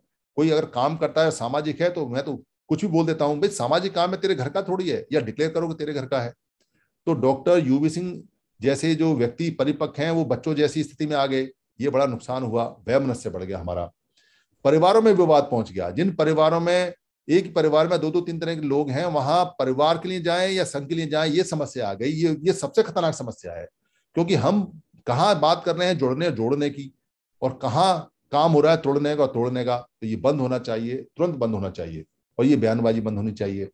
तो यहाँ जितने भी लोग हैं, क्योंकि ये जो नुकसान हुआ, इस नुकसान का एक सबसे बड़ा कारण था कि हम रोटेशन नहीं कर पाए। अगर कंचलता बहन जी को हम एंकरिंग से हटा के कोई और काम दे देते। तो रोटेशन हो जाता। रोटेशन हो जाता तो एक व्यक्ति का चेहरा इतना आगे नहीं जाता। जब किसी व्यक्ति का चेहरा आगे जाता है तो अहम और ईगो साथ साथ आते हैं। इसलिए बार बार प्रकाश सिंह सर कहते हैं कि भाई, काम का रोटेशन करो। काम का रोटेशन करो और काम के रोटेशन को करना बहुत ज़रूरी है। जैसे मैं जो काम शुरू में करता था, मैं छोड़ता जाता हूँ, वो काम नहीं करता। आते मुझे सारे काम है, पर मैं छोड़ता जाता हूँ, छोड़ता जाता हूँ, छोड़ता जाता हूँ। और अब मैं जो कंसेप्ट है, उसको मैं डेली नहीं देता। जब मेरी ड्यूटी लगाई जाती तब देता हूँ। अब कंसेप्ट देने वाले बीस बाईस आदमी आ गए हैं। ए के सिंह सर ने बहुत बढ़िया कंसेप्ट दिया। निर्देश सिंह ने बहुत बढ़िया कंसेप्ट दिया। जो क्या बोलते हैं, हमारे कटके सर हैं, वो तो मास्टर ही हैं। जो हमारे ये क्या बोलते हैं, प्रकाश सिंह सर हैं, वो तो पूरी स्पीड से बोलते हैं। उनकी तो उनकी तो ट्रेन नहीं पकड़ सकता कोई जब वो कंसेप्ट बोलते हैं। जो अभिषेक सर हैं, वो बहुत बढ़िया कंसेप्ट बोलते हैं। एमरजेंसी के अंदर जो हमारे योगेंद्र सर हैं, बहुत बढ़िया बोल सकते हैं। और परिहार सर बहुत पोलैरिटी बहुत आराम से बोलते हैं। जो हमारे ये क्या बोलते हैं देसाई सर हैं, उनका जो होता है बिल्कुल वर्ड टू वर्ड होता है मार्वलस होता है। जो हमारी जो बहन जी हैं डॉक्टर क्या बोलते हैं, ये चंजना बहन जी बहुत बढ़िया बोलती हैं, इनके हस्बैंड बहुत बढ़िया बोलते हैं। हमारे लगभग सारे लोग ट्रेंड हो गए अब 20 25 30 लोग ऐसे हो गए जो 40 40 मिनट का कंसेप्ट 50 50 मिनट का बोल सकते हैं। तो वो काम भी चला गया अच्छा हो गया रोटेशन में आ गया। तो पहली दिक्कत ये हुई कि रोटेशन में नहीं हुआ, इसलिए रोटेशन का नियम बनना चाहिए कि कोई भी व्यक्ति एक लिमिट से ज़्यादा काम नहीं करेगा। फिर दूसरा काम करेगा, फिर तीसरा करेगा, जिससे कि उसके ऊपर निर्भरता खत्म हो जाए संघ की और संघ अपने पैरों पर पे खड़ा रहे। दूसरा ये हुआ कि जो हमारा संगति है, उस संगति का हमने आरंभ में, मध्य में, संगति के खत्म होने में और उसके बाद में कोई इंटरफेरेंस नहीं किया। जैसे जबलपुर की जो संगति हुई थी, ये हमारे संज्ञान में था कि वो अब संघ को नहीं मान रहे ये हमारी जानकारी में था कि उन्होंने संघ को एक तरफ़ से साइड कर दिया है। हमें ये जानकारी थी कि वो मीटिंग प्राइवेट हो गई, पर हम इस लालच में कि हमारी मीटिंग है, खराब ना हो जाए, हमारा नाम खराब ना हो जाए, हम रुक रहे। इस छोटे से लालच की वजह से बड़ा नुकसान हो गया। अगर हम मीटिंग को तभी कैंसिल कर देते और तभी ये डिक्लेयर कर देते कि ये मीटिंग संघ के नियम नहीं माननी है इसलिए ये कैंसिल की जाती है, ये वापस ली ली जाती है तो झगड़ा नहीं होता और ये बात हमारी रुक जाती। इसलिए अब वो नियम भी आना है कि अगर कोई मीटिंग संघ के नियम पे नहीं चल रही है, क्योंकि अब मैं इसका ऊपर ठाक तो मैं इसका प्रस्ताव करता हूँ कि अगर कोई कमेटी, अगर कोई मीटिंग जो संघ के नियमों पर नहीं चल रही है तो उसको इमीडिएटली हाउस से पास करा के, संज्ञान में लाके उसको या तो सस्पेंड कर दिया जाए या या उसको स्टॉप कर दिया जाए। और जो लोग उसमें जाएँ, उनको संघात में घोषित किया जाए कि जो संघी लोग हैं, वो उस मीटिंग में ना जाए। और करने वाले तो संघात में आएँगे आएँगे, क्योंकि ये संघ को तोड़ने की तरीका है। बुद्ध का संघ जब टूटा था तो 500 लोगों को देवदत्त अलग ले ले गया। संघ तोड़ा, तब संघात उसके लिए लगा, जिसके लिए कभी माफ़ी नहीं मिली। इसलिए ये जो नियम है कि भाई किसी भी हालत में जब भी ये लगे हाउस को कि ये मीटिंग प्राइवेट हो गई है या संघ के नियम नहीं मानी है उसको तुरंत वापस कर लिया जाए और उसकी पनिशमेंट भी होनी चाहिए। और ये जो, यहाँ जो जो लोग काम कर रहे हैं और जो लोग काम करते करते करते करते उसके हैबिचुअल हो जाते हैं। और हैबिचुअल होने के बाद में वो दूसरा काम पकड़ना नहीं चाहते हैं, या तो उनसे काम वापस ले लिया जाए और या फिर उनको साफ़ साफ़ कह दिया जाए कि एक काम को ज़्यादा देर तक नहीं कर सकते। क्योंकि संघ में जब चेहरा जाता है तो लोगों को नहीं पता होता कि संघ व्यक्तिवाद से पर है, पर कोई व्यक्ति उस चेहरे का फ़ायदा उठा के बाद में संघ को नुकसान पहुँचा सकता है। इसलिए संघ के अंदर ये रोटेशन की पॉलिसी और चेन की पॉलिसी ये आनी चाहिए। ये सारा का सारा जितना भी किस्सा है ये किस्सा संघ को नुकसान पहुँचाया इसके अंदर मैं भी दोषी हूँ। मैं इस बात के लिए दोषी हूँ क्योंकि मेरे संज्ञान में ये बात थी कि ये बात वहाँ से बिगड़ रही है, पर मैं ये सोच के कि संघ का नुकसान ज़्यादा ना हो। चलो ठीक हो जाएगा, ऐसा है, मैं इसको रोक रोके रहा। अगर मैं तभी संघ के संज्ञान में इसको ले आता तो बात इतनी नहीं बिगड़ती जितनी बिगड़ी है। और भी लोग हैं जिन, जिनके संज्ञान में थी। इसलिए ये नियम के अब जब भी किसी को ये जानकारी मिले कि ये संघ के नियम टूटे हैं, वो तुरंत बताए इसमें देरी ना लगाए, क्योंकि अगर आप छोटी गलती को छुपाएँगे या कोई नियम टूटा है, अगर उसको ये सोच के छोड़ेंगे कि छोड़ दें तो वो बाद में नासुर बन जाता है, फिर बहुत बड़ा नुकसान करता है। और इसी बात के लिए मैंने यहाँ इतने सारा टाइम आपका लिया है कि आप सब लोग कुछ नियम पास कर दें। एक तो काम के रोटेशन का नियम, दूसरा जो ग्रुप हैं, वो सारे सारे ग्रुप जो डिजिटल कमेटी है, वो चलाए। तीसरा, जो ये हमारा यहाँ जानकारी के अभाव में नुकसान होता है तो कोई भी आदमी जाए या संघ को छोड़े तो एक बार संघ को फेस करके ज़रूर जाए। संघ को बता के जाए, ताकि संघ भी अपने आप को सुधार ले और उस व्यक्ति की हो सकता है कोई गलतफहमी हो, जिससे कि वो हो। क्योंकि यहाँ एक समस्या हमारे साथ ये भी आई कि जो लोग यहाँ संघ में बैठे हुए हैं, उन पर तो आप संघ का नियम चला दोगे। पर जो संघ को पहले ही छोड़ के मन बना गए और चले गए, संघ को छोड़ गए, संघ को मान्यता नहीं देते, उन पर संघ का कोई भी सजा कैसे अप्लाई होगा? तो उसका भी एक नियम बनाना चाहिए कि कोई व्यक्ति अगर बिना संघ को बताए संघ की अनुमति के लिए लिए बिना संघ को छोड़ता है, संघ को बिना जानकारी दिए संघ को छोड़ता है तो उस व्यक्ति का घर तक पीछा किया जाए। यानी कि जो वो व्यक्ति संघ को नुकसान पहुँचा के गया है, ये बात सबको बता देनी चाहिए कि ये व्यक्ति संघ को बिना मान्यता के, बिना जानकारी के संघ की छोड़ गया है। इसलिए इसकी किसी बात पे यकीन न किया जाए और उस पर कुछ ऊर्जा खर्च करनी चाहिए ताकि कोई भी आदमी संघ को बिना बताए जाने की हिमाकत ना कर क्योंकि आए तो यहाँ अच्छे मन से आए, पर जाए तो अच्छे मन से ही जाए। जाए जिसको जाना है, संघ बार बार कहता है, जाओ फिराओ जाओ फिराओ कोई दिक्कत नहीं। पर इस तरह से संघ की बेजती करके या संघ को छोड़ के या संघ को लात मार के या संघ को तवज्जो नहीं दे के या संघ को इग्नोर करके या संघ की बिना सुने या संघ को बिना कहे जाना, ठीक वैसा ही है। जैसा आप अपने माँ बाप को बिना बताए उनका घर छोड़ के चले जाते हो, कह के जाओ, क्या दिक्कत है? यहाँ कौन सा पैसा लेता है? या कौन फ़ीस है? वह दुआ सलामी होगी तो अच्छा बना रहेगा। इतना सा मेरा निवेदन है हाउस से। धन्यवाद सर। बहुत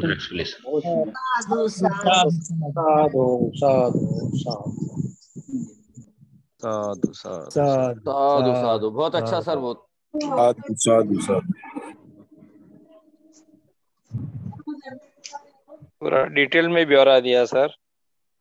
साहब। बहुत शानदार सर बहुत दिल साफ़ था इसलिए ब्यौरा दिया। बहुत दिल साफ़ है बहुत बहुत साधुवाद सर साधुवाद। बहुत बहुत साधुवाद। सर। बहुत अच्छी जानकारी दी और अच्छे सुझाव दिए सर। अगर किसी का हाँ, सर अगर किसी का सभापति महोदय। पास की जाए। सभापति महोदय। बोलिए R S Gill R S Gill sir continue करें। हाँ जी सर। कंटिन्यू कीजिए सर। सर मैं इसमें कुछ कहना चाहता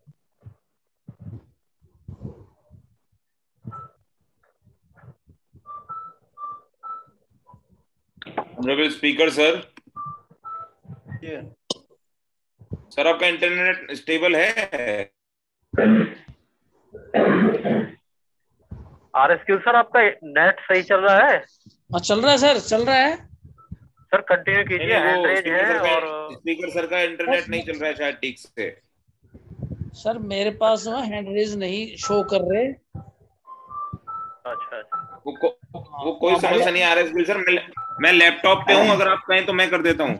आप कर दो सर मेरे पास आने रहे सर।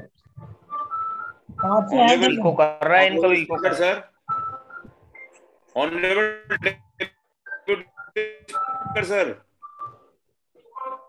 आवाज़ आवाज़ टूट रही है आपकी। तो सर आपका इंटरनेट शायद स्टेबल नहीं है। योगेंद्र सर। सही चल रहा है सर उनका? सही चल रहा है आप बोलिए। इनका नेट ठीक चल रहा है अभिषेक अभी सर सर जिनके जिनके माइक खुले हुए हैं वो प्लीज़ अपने माइक बंद कर लें तो सभी की आवाज़ ठीक आएगी सबका इंटरनेट ठीक हो जाएगा। अनावश्यक रूप से जिनके माइक खुले हुए हैं अपने माइक बंद कर लें प्लीज़ ऑनरेबल स्पीकर सर कुछ हैंड रेज ना अगर आप कहें तो हैंड रेज ले लें एक एक करके। जी हैंड रेज पहले ले लिया जाए। सुरेश चंद सर संघम नमामि संघम नमामि संगम नमामि। सभापति महोदय मेरा निवेदन है दो लोग चैट बॉक्स में कुछ मैसेज डाले हैं एक बीडी गौतम सर और एक योगिता रंगारी सर। वो कुछ कहना चाह रही हैं उनकी बात सुन ली जाए मेरा विशेष निवेदन है। जी ज़रूर। उनका हैंड रेज है सीरीज़ में। Doctor Virendra Singh sir ji sir honourable speaker महोदय, अभी हमारे सुधीराज सर ने जो ब्यौरा दिया, सचमुच कुछ गलतियाँ हुई हैं। जबलपुर संगीत में सबसे पहले जब मैंने ग्रुप में दस लोगों का नाम डाला तो मुझसे फ़ोन पर बताया गया कि आपने जो है ना, ज़्यादा नॉन मेडिको डाल दिए हैं। मैंने इसका विरोध किया। डॉक्टर रमेश चंद्रा ने भी विरोध किया, डॉक्टर स्वामी ने विरोध किया और हमने नेटवर्किंग कमेटी में एजेंडा भी डाला था। लेकिन फिर बाद में जैसा सुविधा सर बता रहे हैं कि कहीं और ज़्यादा नुकसान ना हो, इसलिए उसको डाइल्यूट कर दिया गया था। ये वास्तव में मिस्टेक हुई थी, दंड देना चाहिए था। अब ये और स्पष्ट कर दें कि ये जो जो, जो लोग इस तरह का उन्होंने जो कार्य किया है वो किस श्रेणी में है उनको क्या अभी अभी तो सिर्फ़ उनको ग्रुप से बाहर किया है। क्या उनके लिए कोई प्राविधान है? वीरा सर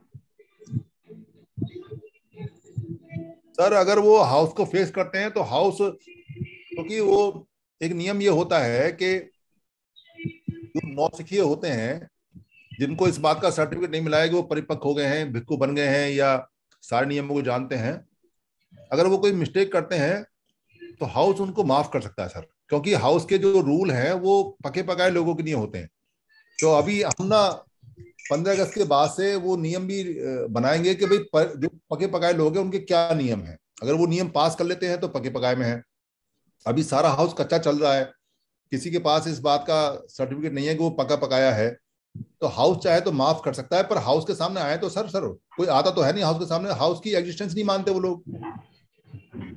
अभी अभी सर उनको पेंडिंग में रखा जाएगा क्या उनका स्टेटस रहेगा अभी? कि सर जो बच्चा स्कूल आता है मास्टर उसको तो दंड दे सकता है सिखा भी सकता है। पर जो स्कूल नहीं आएगा बच्चा उसका क्या कर लोगे आप? वो तो आने वाले आने वाले तो है नहीं। नहीं, वो, सर, हमें उनके आने के या ना आने के संघ में पचास सौ लोगों से इतना ज़्यादा फ़र्क नहीं पड़ता। संघ में इस बात से फ़र्क पड़ता है कि आप संघ की सच्चाई कितने परसेंट प्योर रखते हैं। अगर हम संघ की सच्चाई को सौ परसेंट प्योर रखते हैं तो वो लोग भी आएँगे, क्योंकि अल्टीमेटली उनको भी आना तो संघ में ही है तो वो भी समझ। अब उनके आने का रास्ता वो खुद तय करें कि वो हाउस को फेस करके आएँगे किसी के थ्रू आएँगे पर टेबल टॉक नहीं हो सकती सर। संघ में कभी टेबल टॉक नहीं होती। मैंने कोई नहीं पढ़ा कि भगवान बुद्ध से कभी कोई बंदा बंद कमरे में बात करके निगोशिएट करके संघ में आया हो। बुद्ध ने जितने भी काम किए, वो खुले में किए। वो अपनी कुटी में अकेले जाते थे। बस आनंद को परमिशन थी कि आनंद वो इसलिए आते थे कि वो ये बता सके, कुछ लोग मिलने आए हैं, या आज क्या कार्यक्रम है, या कहाँ गए कहाँ नहीं गए। बाकी सारा काम, पूरा जीवन बुद्ध ने जो संघ के लिए चलाया, वो खुले में चलाया है। और हम भी उसी नीति पर चल रहे हैं कि सारा काम बिल्कुल पोर्टल पे खुला चलेगा हमें कोई डर नहीं है इस बात का। ठीक है सर। कंटिन्यू करिए sir. Gulshan sir.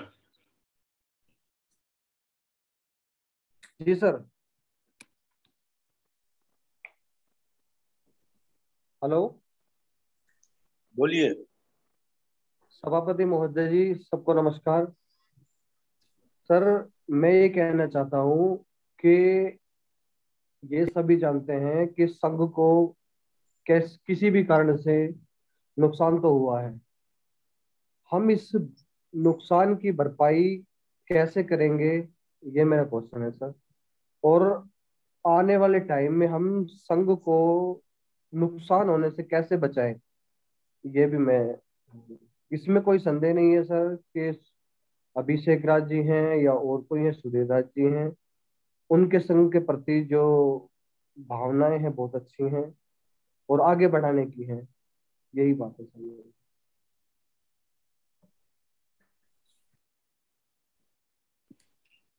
Honourable speaker sir बोलिए सर।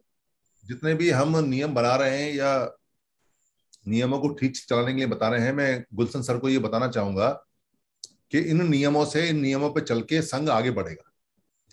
और जो लोग गए हैं, उनके लिए संघ के पास माफ़ी है। पर कोई संघ के सामने आए तब, और ना भी आए, देर सवेर जब भी आएँगे, आना तो सर संघ के सामने पड़ेगा, क्योंकि संघ सबसे बड़ा है, संघ सुप्रीम है। कोई व्यक्ति अगर संघ को बाईपास करके कुछ करना चाहेगा, वो नहीं हो पाएगा, सर। इसलिए यहाँ जो जो सबसे बड़ी चीज़ है, वो ये है कि हमें सारा काम संघ के अनुसार, संघ के लिए और संघ का करते हैं हम लोग। By the Sangh for the Sangh of the Sangh. ये हमारे संविधान का भी नियम है और ये हमारे संघ का भी नियम है। इसलिए काम तो बढ़ेगा सर। गुलशन सर आप बिल्कुल बेफिक्र रहें।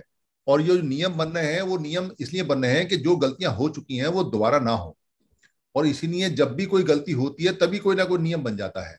जैसे पंद्रह मई को एक ये देखा गया कि भाषण देने के चक्कर में हमारे कई खास लोग चले गए। जिनको हम ये समझते थे कि जीवन भर संघ में रहेंगे, उन्होंने प्रॉमिस भी किया था। और सिर्फ़ इसलिए कि उनके जो भाषण देने का टाइम है, वो कम कर दिया गया, या उनसे कहा गया कि भाई आपके स्पोक नहीं आए, इसलिए जिन जो जो लोग स्पोक बनाए हैं कमिटी ने तय किया है कि वही लोग बोलेंगे टाइम बचेगा तो आपको देखेंगे। पर वो लोग चले गए। बहुत सारे लोग तो इसलिए नहीं आए कि हमारा बोलने का होगा नहीं, हम नहीं जाएँगे। कई सारे नेता टाइप के लोग नहीं आए जिनको बुलाया था कि हमारा बोलने का क्या है। तो फिर भाषण ये तय किया कि भाषण ही नहीं होंगे आज के बाद।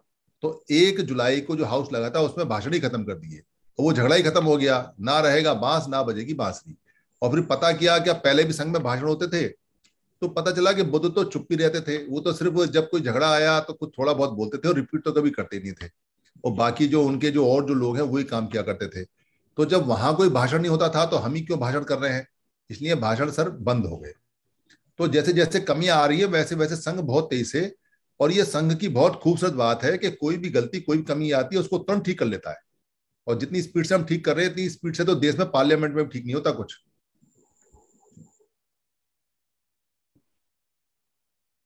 जी सर राम रामलॉट बहुत sir next hand raise sir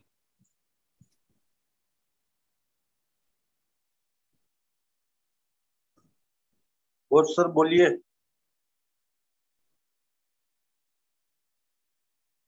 yes sir sir मुझे तो ऐसा लगा हम तो लखनऊ के रहने वाले हैं सर मुझे तो ऐसा कुछ महसूस हुआ कि इन लोगों का ईगो कुछ हर्ट हुआ इसमें, जिसकी वजह से छोड़ जो संघ को छोड़ करके अपना जो है दूसरा संघ बना करके और दूसरा पोर्टल खोल करके अपनी मीटिंग होती कर तीस पैंतीस लोग जुड़ते हैं।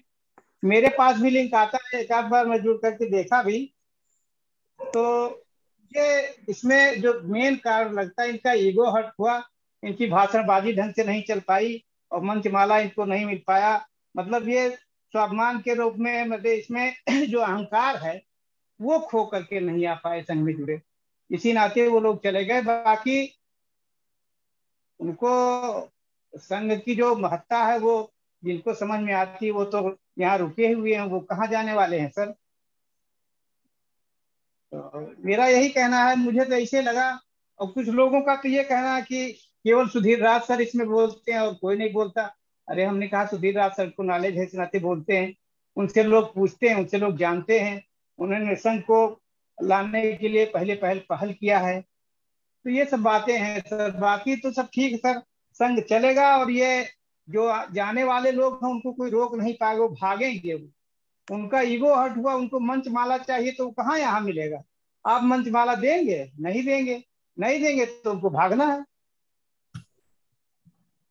और जहाँ पैसे की बात होती तो वहाँ रगड़ा तो होता ही है, सर। उसमें कोई ना कोई बात बिगड़ती ही है, सर। चाहे कोई संगठन हो, चाहे घर का ही हो, जहाँ पैसे का मामला आ जाता है तो अगर कई मत हो जाती तो उसमें जो है लोग बवाल करते ही हैं, झगड़ा करते ही हैं, सर।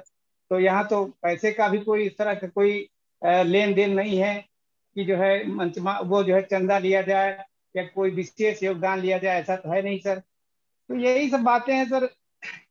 ये दूसरा संघ बना कर यहाँ तीस पैंतीस लोग मीटिंग करते हैं, जिसमें डॉक्टर यूवी सिंह भी हैं, डॉक्टर वी लाल हैं, ये निरंकारी सर हैं। ये लोग इन लोग मतलब अपना एक ईगो बना के रखना चाह रहे थे संघ में, जो नहीं चल पाया। तो ईगो वाले यहाँ कहा रुक पाएँगे सर संघ में? बाकी जिसको भागना है, वो कोई ना कोई कारण बता के तो भागेगा ही। अरे, जिसको कोई दिक्कत है, कोई परेशानी, वो आगे अपना जो है संघ में आकर के बात करे पोर्टल पे आके बात करे, सारे लोगों के सामने अपनी बात करे और बताए। तो इन्हीं बातों के साथ मैं अपनी बात खत्म करता हूँ, सर। नमो उद्धार जय भीम, सर।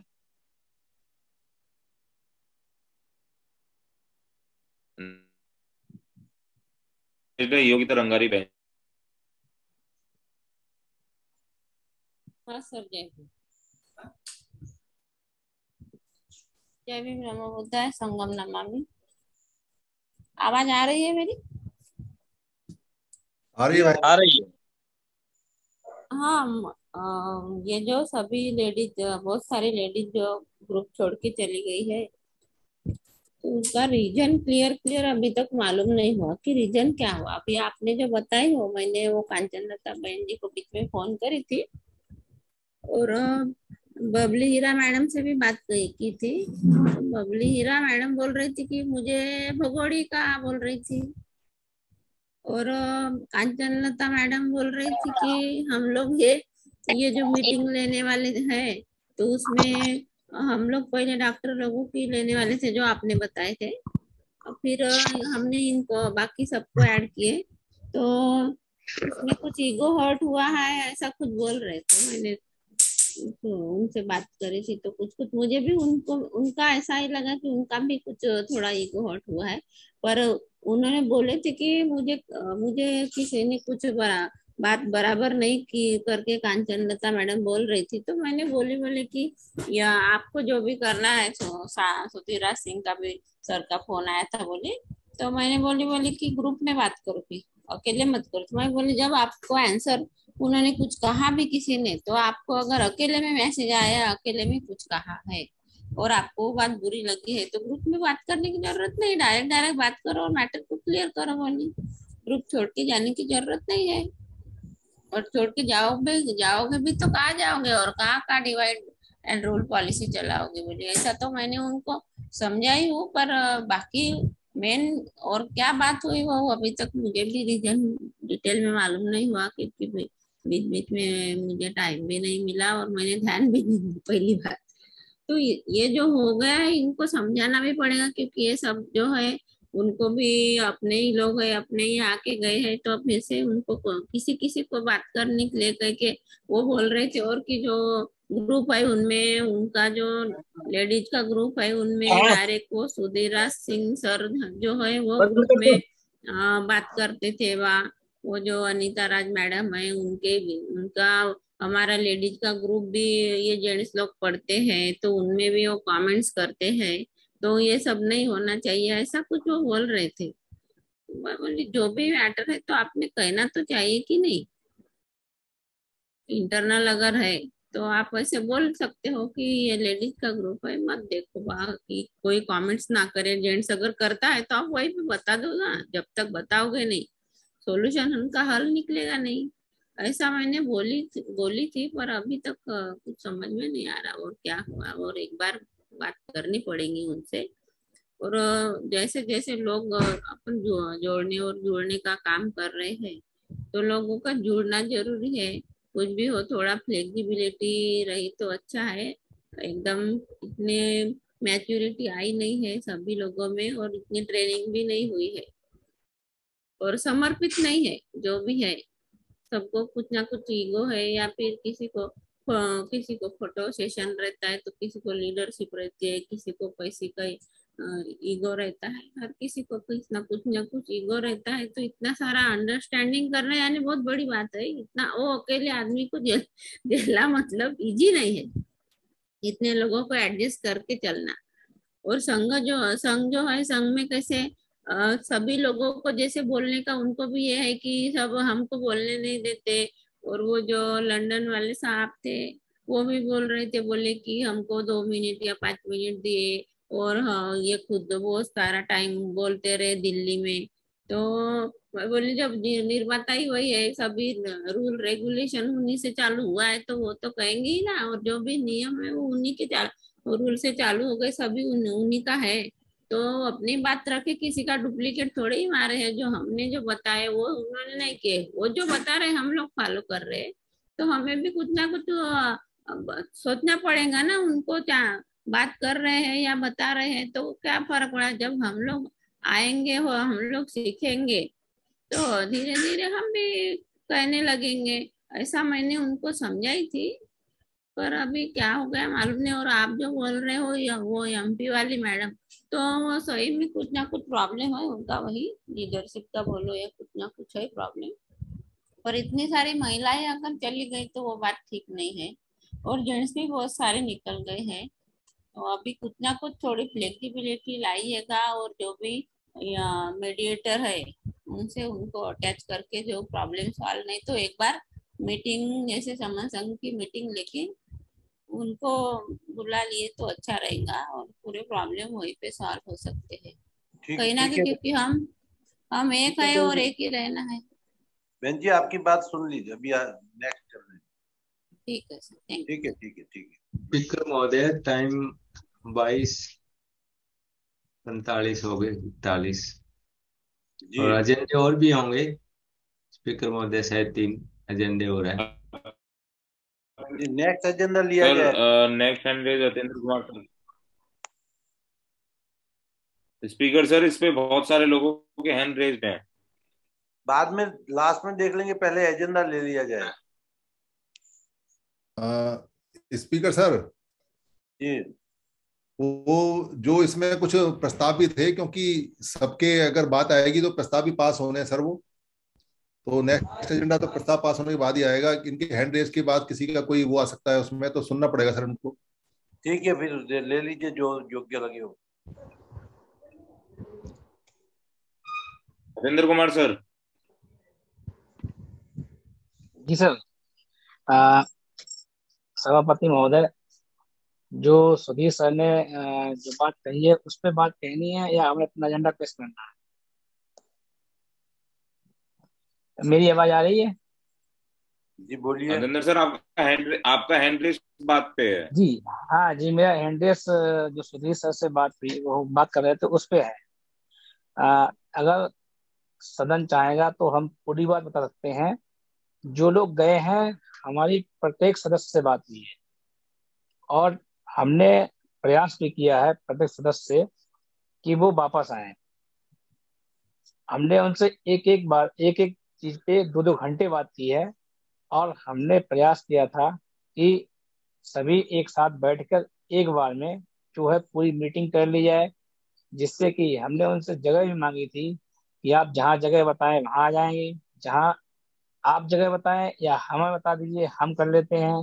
पूरे दिन चौबीस घंटे की जो मीटिंग कर सकते हैं, लेकिन जो आप लोग जा रहे हैं, उसको ना जाएँ।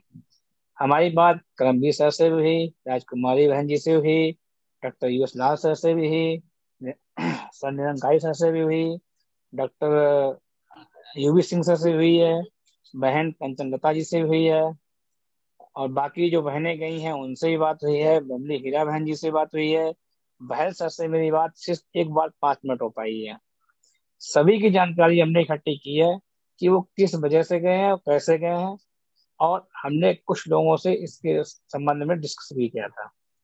अगर जब भी चाहेंगे क्योंकि लंबी बात हो जाएगी कम से कम बताने में मुझे आधा घंटा समय लगेगा। अंदर तो सर। जी जी जी। मैं सिर्फ़ एक बात आपसे पूछना चाहूँगा कि जब आपने उनको ऑफ़र दिया कि आप जूम पे आ जाइए सब लोगों के साथ में बैठ के बात होगी और मैंने भी आपसे निवेदन किया था कि भाई आप सबको बात करके कहो कि जूम पे सबके सामने आएँगे और जो जज होंगे वो सारे के सारे स्पोक्स होंगे और बाकी वो अपनी बात कर रहे हैं और जिससे जवाब लेना है वो जवाब देगा। तो साथ बैठ के आने में दिक्कत क्या महसूस हो रही है उनको? हाउस को हाउस का सामना करने में क्या दिक्कत महसूस हुई? आ, सही बात तो ये है कि कुछ गलतियाँ की हैं उन लोगों ने लेकिन हमने ये भी कहा था कि अगर आप हाउस के सामने पूरी बात रखेंगे तो ये गलतियों में मतलब कोई बड़ी गलती नहीं है। ये तो स्टार्टिंग कर रहे हैं हम लोग। ये सारा कुछ सही हो सकता है। और हाँ उन्होंने कभी ये नहीं कहा कि हम नहीं आएँगे। उन्होंने कहा कि हम डेट देते हैं आपको, लेकिन उन्होंने आज तक हमें डेट नहीं दी है। हमने पूरा एक महीना लगाया इस काम के लिए। लेकिन उन्होंने किसी ने भी, किसी ने भी डेट नहीं दी है। राजकुमारी बहन जी ने कहा था कि हम जब बताएँगे, आप आ जाएँगे। तो हमने कहा, हमें डेट दी डेट दीजिए। और, बाकी लोगों ने भी यही कहा था। लेकिन किसी ने मुझे डेट नहीं दी कि किस तारीख को आना है, इकट्ठा होना है। हमने तो मतलब जूम मीटिंग के लिए और डायरेक्ट बैठने के लिए बात कही थी कि जहाँ बताइए अगर नई व्यवस्था है हम व्यवस्था करवाते हैं। आपने सब आ जाइए आपने कभी उनको इस बात के लिए कहा कि भाई आप गलती पे गलती की हो या ना की हो पर आप जो अलग से डिक्लेयर किया आपने जबलपुर के अंदर कि आप अलग से मीटिंग करेंगे ये जो आइडिया जिसके भी दिमाग का रहा है या जो भी लोग वहाँ बंद कमरे में बैठे और कभी आपने ये नहीं कहा उनको कि भाई ये संघ के लिए बिल्कुल घातक है ये तो आप सबसे बड़ी गलती कर रहे हो? जबलपुर में जब हमें मौका मिला था अपनी मतलब बात संघ की बात कहने के लिए तो हम जबलपुर गए थे। तो हमने ये बात सारी चीज़ रखी थी। जब उन्होंने कहा कि मैं ज़मीन दूँगा बैक टू पे, पे बैक टू सोसाइटी के लिए बात की थी उस संबंध में मैंने उनको बहुत ही उदाहरण दिए थे। कई उदाहरण दिए थे। जो लोग वहाँ उपस्थित हैं उनको जानकारी है इस चीज़ की। मेरे पास वीडियो भी अगर चाहे तो हम डाल देंगे।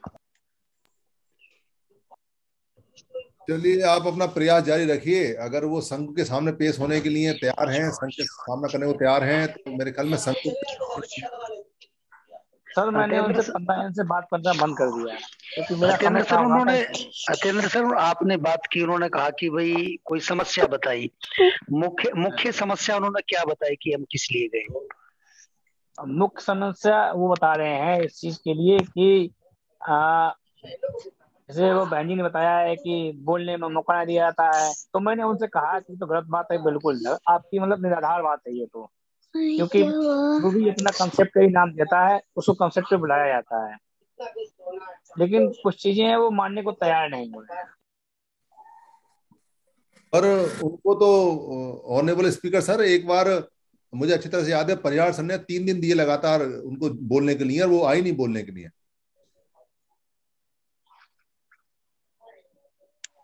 स्पीकर महोदय मेरे को उनका मैसेज आएगा एक दो बार वो आए नहीं। बाद में उनका एक मैसेज आया। एक आधी बार बहाना बनाया।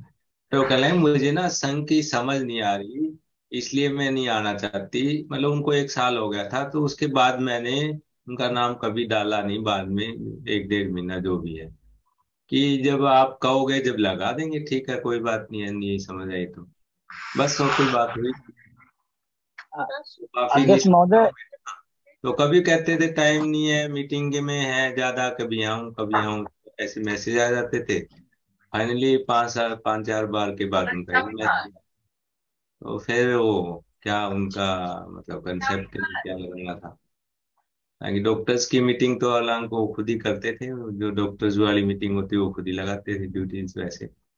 सिर्फ़ जारी मेरे से मैं मतलब एज ए मतलब प्रोटोकॉल यहाँ से होती थी। जैसे मेरी कमेटी करती है अभी यहाँ, ठीक है?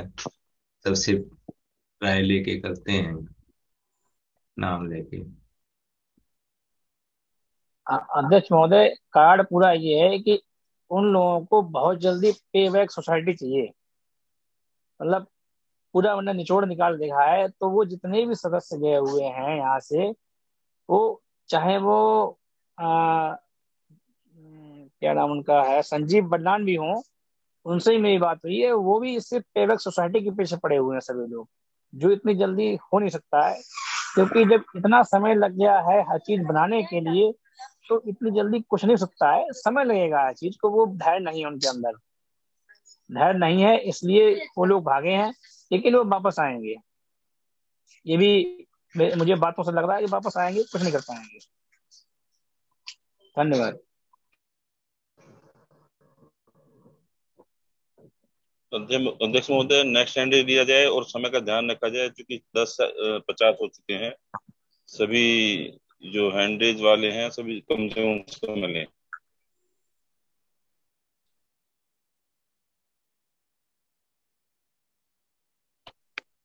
नेक्स्ट बोले। हरीश भगत सर। संगम नमामि सभी। सभापति महोदय मेरा एक ही प्रश्न है छोटा सा। जैसा अपन ये अपना संघ सुचारू रूप से चलाने के लिए हम जो नियम बना रहे हो तो बहुत ही अच्छी बात है। बगैर नियम से तो कुछ चल ही नहीं सकता। जैसा हम जो संघ में आते हैं तो उनको हम, उनको निकालने के या जो भी हम नियम बना रहे जो संघ का नियम को मानेगा नहीं, उसको हम, जैसे सुधीर सर ने अभी सारी चीज़ें बताई कि उसको पहले तो माफ़ करेंगे या फिर बाद में उसको सिखाएँगे तो मेरा प्रश्न ये था कि जैसा संघ से बाहर निकालने के लिए हम नियम बना रहे तो कुछ संघ में आने के लिए भी कुछ हम नियम बना सकते क्या? ऐसा मेरा एक सवाल था।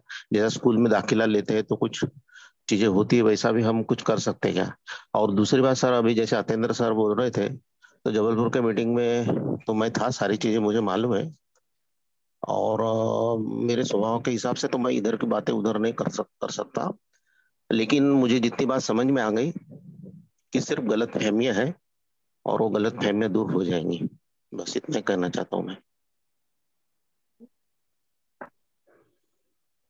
धन्यवाद।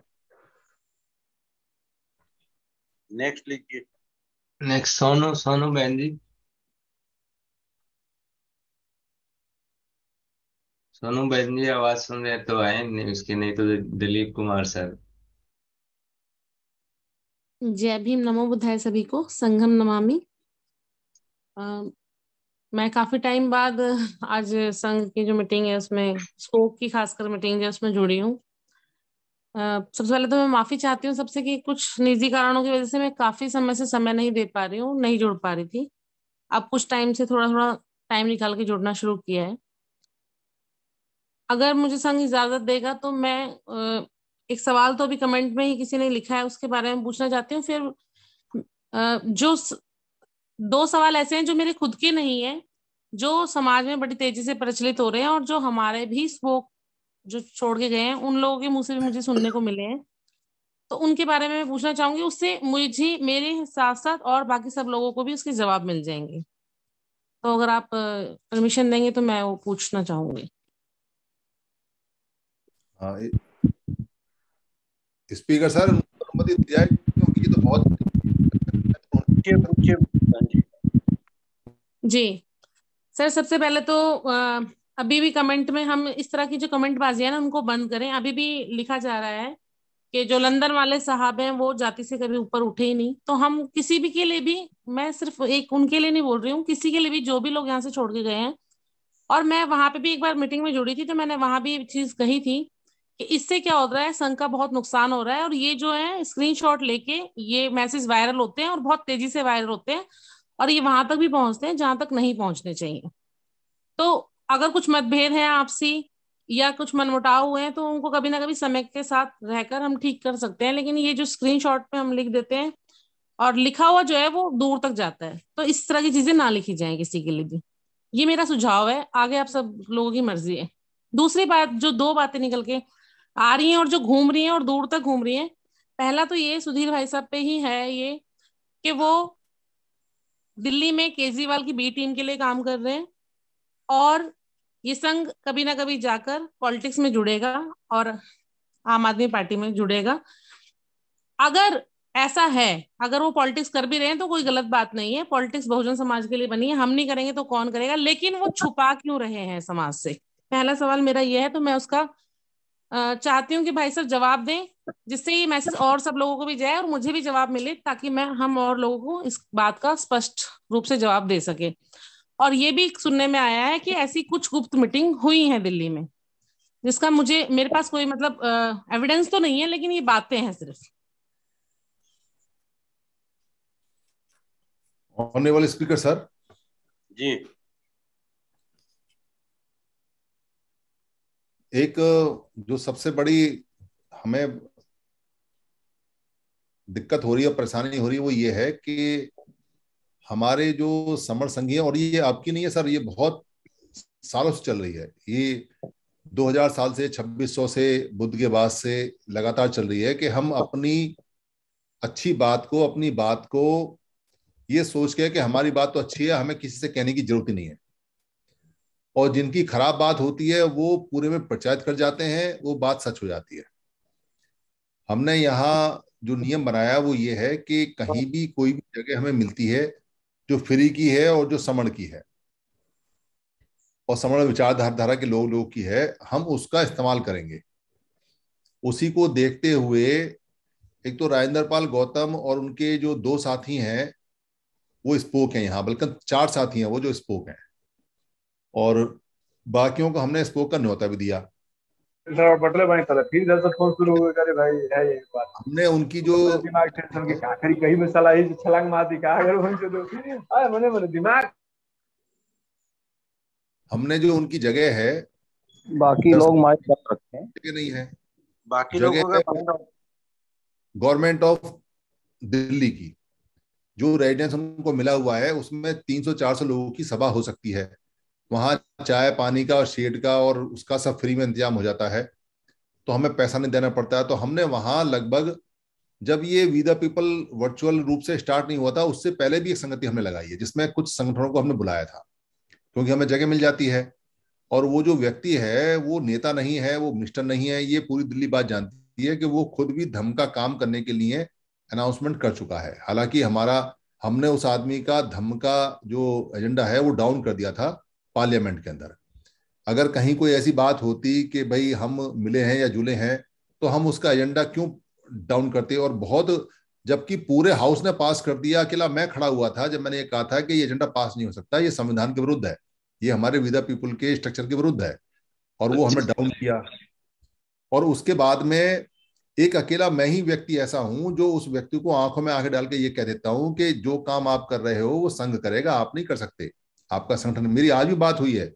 आज भी मैंने उनसे कहा है कि भाई अलग अलग क्या हो रहा है? आप भी धम दीक्षा कर रहे हो और उधर जो जो सुमित रत्न है, उन्होंने भी नौ अक्टूबर का लखनऊ में किया हुआ, ये क्या है? आप कह रहे जी, मेरे को इन्विटेशन आया। तो मैंने कहा, भाई, बैठ के बात करो। इसको कराते क्यों क्यों नहीं हो? तो हमने कहा एक मीटिंग फिक्स करो, जिससे कि पता चले अलग अलग धमका काम क्यों करते हो? सारे लोग एक साथ करो, जब करना धम का काम। तो ये सारी चीज़ें उन लोगों ने उड़ाई, जिन लोगों को ये बात लगी कि, अरे, ये तो संघ बहुत ऐसे आगे बढ़ रहा है। तीन मीटिंग हमने उनके यहाँ की और वो उस कार्यक्रम में आए भी, पर उस कार्यक्रम में हमने और भी लोगों को बुलाया। सभी लोगों को बुलाया। बीएसपी के लोगों ने जब हमसे कहा कि जी ये तो सबसे पहले ये बाम सेफ़ ने और बीएसपी ने प्रचार किया था हमारे अगेंस्ट में कि ये फ़ोटो वोटो लगा के जो हम फ़ोटो लगाते हैं कि देखो ये आप पार्टी में है, फलाना है ढरना है। तो हमने बीएसपी वाले लोगों से कहा कि भाई तुमको लगता है कि हम आप में चले गए, आप में चले गए तो तुम हमको जगह दो। तो उन्होंने कहा ठीक है, जगह ले लो। तो हमने कहा बोले, कितने आदमी होंगे? मैंने पाँच सौ से ऊपर आदमी होंगे, दिल्ली में मीटिंग कराओ। तो उन्होंने कहा ठीक है। रकाबगंज में जहाँ साहब काशी राम जी का प्रेरणा वो लगा हुआ है, स्टेचू लगा हुआ है, उसमें मीटिंग हो सकती है। तो उन्होंने कहा, जी, कि वो जगह तो आपको मिलेगी नहीं। वो तो मना कर दिया। तो मैंने कहा, भाई, तुम बोलना बंद करो फिर। जब तुम जगह दे नहीं सकते हो, जहाँ से हमें जगह मिलती है, उसका प्रचार करते हो तो वो तो चुप हो गए। पर बाम से वाले जो दो चार लोग थे, जो शुरू में हमारे साथ जुड़े और वो बहुत देर तक साथ चलते रहे। उन वाम सेफ़ के लोगों को ये लगा कि हम जो यहाँ काम कर रहे हैं, वो वामन मेसराम के अगेंस्ट में कर रहे हैं। पर कुछ समय बाद उनको ये समझ में आया कि हम वामन मेसराम के अगेंस्ट में नहीं कर रहे। हम तो उन सारे संगठनों को नसीहत दे रहे हैं और बार बार बोल रहे हैं जो अलग अलग काम कर रहे हैं। उनमें उनका भी आता है, जो बोरकर ग्रुप का था। तो बोरकर ग्रुप के दो तीन लोगों ने, जिसमें एक संजय मोहिते हैं, एक यहाँ मेरे मित्र हैं, बड़े खास मित्र, जो जो शुरू में साथ लगे थे। और वो शुरू में तीन चार लोग वामसेफ के इसलिए साथ लगे कि ये लोगों को बढ़िया इकट्ठा कर रहे हैं और ये सारे लोग वामसेफ में आ जाएँगे। यहाँ तो हर आदमी अपने ही उसमें आता है काम में। तो उन्होंने खूब प्रचार प्रसार करना शुरू किया कि वो तो ऐसा कर रहे हैं, वो तो यहाँ जा रहे हैं, आप आप में जा रहे हैं, इसमें जा रहे हैं, उसमें जा रहे हैं। जबकि उनको अच्छी तरह पता है, किसी को पता हो या ना पता हो, पर उनको अच्छी तरह पता है कि संघ कभी राजनीति में नहीं जाएगा और वो संघ के स्वभाव को अच्छी तरह जान गए हैं। पर उनको संघ से ही डर लगता है। वो ये मान के चलते हैं कि भाई मेसराम तो अभी टूट गया है तो मेसराम तो खत्म हो जाएगा। पर संघ खत्म नहीं होगा। उनका सपना, जो सपना है, वो सपना का सपना रह जाएगा, क्योंकि ये संघ सबको समेटने वाला है। इसलिए वो इसके प्रचार में बहुत ज़ोर शोर से लग गए। पर हमें खुशी इस बात की है कि वो हमारा प्रचार कर रहे हैं, भले ही वो निगेटिव कर रहे हैं। देर सवेर जैसा कि बुद्ध ने कहा है कि सच्चाई और जो चाँद है या सूरज है वो छुप नहीं सकता। थोड़े बहुत बादल आते हैं, थोड़े समय के बाद में छट जाते हैं, वो उनका धमपत के अंदर बताया हुआ है। इसलिए सच्चाई सबके सामने आ जाएगी। आप बेधड़क होकर कह सकते हैं, यहाँ रास्ता खुला हुआ है। जिसको जिस पार्टी में जाना है, वो जाए। चला जा सकता है, पर वो एक्टिव समर संगी नहीं रहेगा, समर संगी तो रहेगा। कोई रास्ता बंद नहीं किया यहाँ तो इसलिए यहाँ कोई दिक्कत है भी नहीं। और फ्यूचर में क्या, ज़िंदगी में कभी भी संघ, कभी किसी राजनीतिक पार्टी में किसी राजा के चरणों में नहीं बैठा। जब बुद्ध थे, बुद्ध कभी भूखे रहे, एक चीवर में रहे, उनका जो भिक्खु संघ है, वो परेशान रहा। एक बार तो उन्होंने घोड़ों का जो खाना होता है, वो खाया। पर राजा की शरण में खाना मांगने नहीं गए। ये संघ की खास बात होती है कि वो मर सकता है, मिट सकता है, पर किसी राज्य, किसी राजा, किसी सरकार के चरणों में नहीं बैठ सकता। चरणों में बैठते हैं सिर्फ़ संगठन। संघ कभी नहीं बैठता। ये बात सब अपने दिल में इसको बैठा लें। इसलिए संघ की इज़्ज़त करती है दुनिया क्योंकि संघ सर्वोपरि है संघ सबसे बड़ी है। अगर आप संगी हैं तो इस बात को हमेशा अपने सर पे लगा के रखें कि आप किसी के आगे झुकने वाले नहीं और अगर आप झुक गए तो आप फिर संगी नहीं हो। धन्यवाद सर। बहन जी और डाउट है? जी जी भाई साहब एक एक एक सवाल सिर्फ़ और है। बहुत बहुत साधुवाद आपका जो आपने जवाब दिया। मैं वैसे कोई नहीं होती हूँ संघ से पूछने वाली लेकिन मैं सिर्फ़ वो सवाल कर रही हूँ यहाँ पे जो आ, समाज में घूम रहे हैं और संघ की मर्यादा को कहीं ना कहीं भंग कर रहे हैं। जिसका जिसका जवाब मुझे भी मिल रहा है और मेरे साथ साथ और सबको भी मिल रहा होगा। दूसरा दूसरी बात जो ये है कि महिलाओं के व्हाट्सएप पे जाके या ग्रुप्स में जाकर या उनको पर्सनली भी जो है, अब शब्द कहे जाते हैं, जिसमें एक मैसेज मेरे पास भी वायरल हुआ, जिसका ये कहा गया कि सुधीर भाई साहब ने लिखा है, जिसमें लिखा है कि अब अब सोनू जी का गाना पेश किया जाएगा महफिल को, वो करने के लिए मतलब मनोरंजन करने के लिए। तो इस तरह की लैंग्वेज आपके द्वारा लिखी गई है, और वो राइटिंग आपकी है, और ये आप मेरे लिए नहीं, और भी कई महिलाओं के लिए आपने बहुत कुछ लिखा है। इसमें भीष्म देवारिया जी के लिए भी आपने बहुत कुछ लिखा है और कंटिन्यू आप ही सबके लिए मतलब राइटिंग में बहुत कुछ लिख रहे हैं। ये भी एक मैसेज है सब जगह। देखिए बहन जी, जो भीष्म देव आर्य हैं, उनके लिए तो मैंने एक मैसेज बनाया था, जिसमें मैंने ये कहा था कि वो मेरी पत्नी का फ़ोन नंबर मांगते हैं और वो इस बीमारी से ग्रस्त हैं। और ये बीमारी में रात के ग्यारह बजे फ़ोन करते हैं और वो महिलाओं का ही संगठन बनाते हैं, कभी पुरुषों का नहीं बनाते हैं। और इस व्यक्ति से थोड़ा सा सावधान रहना चाहिए। वो तो मैसेज मैंने बनाया था और वो मैंने सब में फ्लैश किया था। पर बाकी जो मैसेज आ रहे हैं या जा रहे हैं, क्योंकि मैंने अभी बताया था कि यहाँ बयानबाजी और मैसेजबाजी बहुत हो रही है और ये बड़ा नुकसान है। अच्छा ये नहीं पता चलता कि कोई आदमी खुद मैसेज लिख रहा है और खुद भेज रहा है या कोई और लिख रहा है। पर जैसा कि ए के सिंह सर ने ये बताया था क्योंकि जो डॉक्टर यू बी सिंह है, वो उनकी मिसेज के बड़े भाई हैं। उनकी बातचीत हुई तो उन्होंने कल बताया था हाउस में, कल या परसों की बात है, कि भाई वो ये कहते हैं कि सुधीर से परेशानी है। जब वो ये कहते हैं सुधीर से परेशानी है तो वहाँ जो वो पाँच सात लोग हैं पाँच सात ये ज़्यादा नहीं है, मैं टिप्स में नाम बता सकता हूँ। एक डॉक्टर यूएस लाल है, एक डॉक्टर राजकुमारी बंसल हैं, और एक करमवीर बौद्ध हैं, और एक जीडी निरंकारी हैं। ये चार लोग हैं। बाकी पाँच में को तो फंसा लिया इन्होंने। तो ये जो चार लोग हैं ये बार बार बार बार कहते हैं अठाधीश है फलानाधीश है वही कर रहा है ये कर रहा है। अलावा संघ में कोई नाम नहीं दिखाई देता। बार कहा है कि संघ में व्यक्तिवाद नहीं होता है। मेरे को नेता बनाने में लगे पड़े हैं। और कितनी बार प्रकाश सिंह सर ने ये कहा है और बड़का डाटा भी इस बात के लिए है कि भाई आप सब लोग आओ या जाओ, उससे फ़र्क नहीं पड़ता। पर जितनी बार आप सुधीर दास सिंह का नाम लेते हो, चाहे अच्छा लो या बुरा लो, वो उतनी बार नेता बनता है। और जितनी बार सुधीर दास सिंह नेता बनता है, उतना ही ज़्यादा संघ को नुकसान होता है, क्योंकि व्यक्ति आगे जाएगा तो संघ पीछे रह जाएगा और व्यक्ति पीछे रहेगा तो संघ आगे बढ़ेगा। हमने संघ बढ़ाना है, क्योंकि हमारी जो मुक्ति है वो संघ में है। व्यक्ति में अगर हमारी मुक्ति होती तो इतने सारे व्यक्ति हमने तैयार कर रखे हैं। हर आदमी व्यक्तियों के पैर में पड़ा हुआ है, हर आदमी व्यक्ति की जय जयकार कर रहा है, हर आदमी व्यक्तियों का नाम ले लेके खूब गले फट रहा है, पर उससे कुछ नहीं होने वाला है। भाई साहब, मैं यहाँ पे एक मिनट के लिए आपको रोकना चाहूँगी। मैं ये बताना चाहूँगी कि आपने जो नाम लिए वो तो सिर्फ़ कुछ जेंट्स के हैं। कुछ महिलाओं के भी आरोप हैं जिसमें मेरे लिए भी एक मैसेज जो है फॉरवर्ड हुआ है, जिसमें ये लिखा गया है कि वो आपके द्वारा जो है पोस्ट किया गया है और उसमें लिखा गया है कि जैसे मैंने भी बताया कि सोनू बहन जी आएँगी और अभी अपना गाना सुनाएँगे और रंगारंग कार्यक्रम यहाँ पेश होगा। नहीं मैं तो इस तरह के पोस्ट जो आ रहे हैं महिलाओं के लिए जो लिखे हुए आ रहे हैं तो आप उसका खंडन करते हैं कि वो आपने नहीं किए? नहीं नहीं नहीं आप कभी नहीं पूछा आपसे। और मैं और मैंने किसी और से भी फ़ोन करके नहीं पूछा क्योंकि मैं संघ के सामने ही पूछना चाहती हूँ क्योंकि मैं गलत नहीं हूँ। हाँ देखिए, पहली बात तो सुनिए कि मैंने सिर्फ़ एक मैसेज लिखा है और कोई मैंने मैसेज लिखे नहीं है, पहली बात। दूसरी बात यह है कि मेरी जो वो वहाँ पे गंगाराम बौद्ध है, उनसे मेरी बात हुई थी, एक घंटे तक बात हुई। मैंने उनसे ये कहा, मैंने कहा, भाई, एक बात बताओ कि तुम्हारे पोर्टल से जो मैसेज आते हैं लिख के, वो सीधे सीधे आप हमारा नाम लगा देते हो, आप ऐसे लोगों को एंट्री क्यों देते हो? आप ऐसे लोगों को एंटर क्यों कराते हो जो आप यहाँ लिखते हैं? आप उनका वीडियो क्यों नहीं खुलवाते हो? आप उनका वीडियो क्यों नहीं चेक करवाते हो? आप किसी की एंट्री देने से पहले मैंने उनको ये भी कहा कि जूम के अंदर एक ऑप्शन है। जूम के अंदर ये ऑप्शन है कि कोई भी आप यहाँ एंट्री करेगा तो पहले वो रजिस्ट्रेशन करेगा, उसका फ़ोन नंबर जाएगा या ईमेल जाएगा। आप उस ऑप्शन को क्यों नहीं लगाते हो? आप उस ऑप्शन को लगाओ कि कोई भी आदमी अगर वहाँ एंटर करेगा तो उसकी पहचान आपको पता चलेगी कि ये कौन है। दूसरी बात यह है कि उसमें एक ऑप्शन है कि जो भी व्यक्ति वहाँ आता है, अगर वो आप ऑप्शन लगा दोगे तो उसकी वीडियो खुलेगी खुलेगी। तो आप उसकी वीडियो क्यों नहीं खोलते हो? आप क्यों नहीं देखते हो? भाई, मैं तो ये कहता हूँ कि आप आरोप लगाते हो हमारे लोगों के पास में, या पुराने लोगों के पास में, और हम ये कहते हैं कि आप खुद ही अपने नाम नाम से लिखते हो, खुद ही नाम लगाते हो, और खुद ही हमें बदनाम करते हो। क्यों करते हो? ताकि आपके पास बदनामी से लोग आ जाएँ। ये खेल बंद करो आप। आप अपने यहाँ ऑप्शन लगाओ कि कोई व्यक्ति अगर आपके यहाँ आता है तो उसका वीडियो खुलवाओ। गलती आप करो, लिखे आपके यहाँ पोस्ट आप करते हो।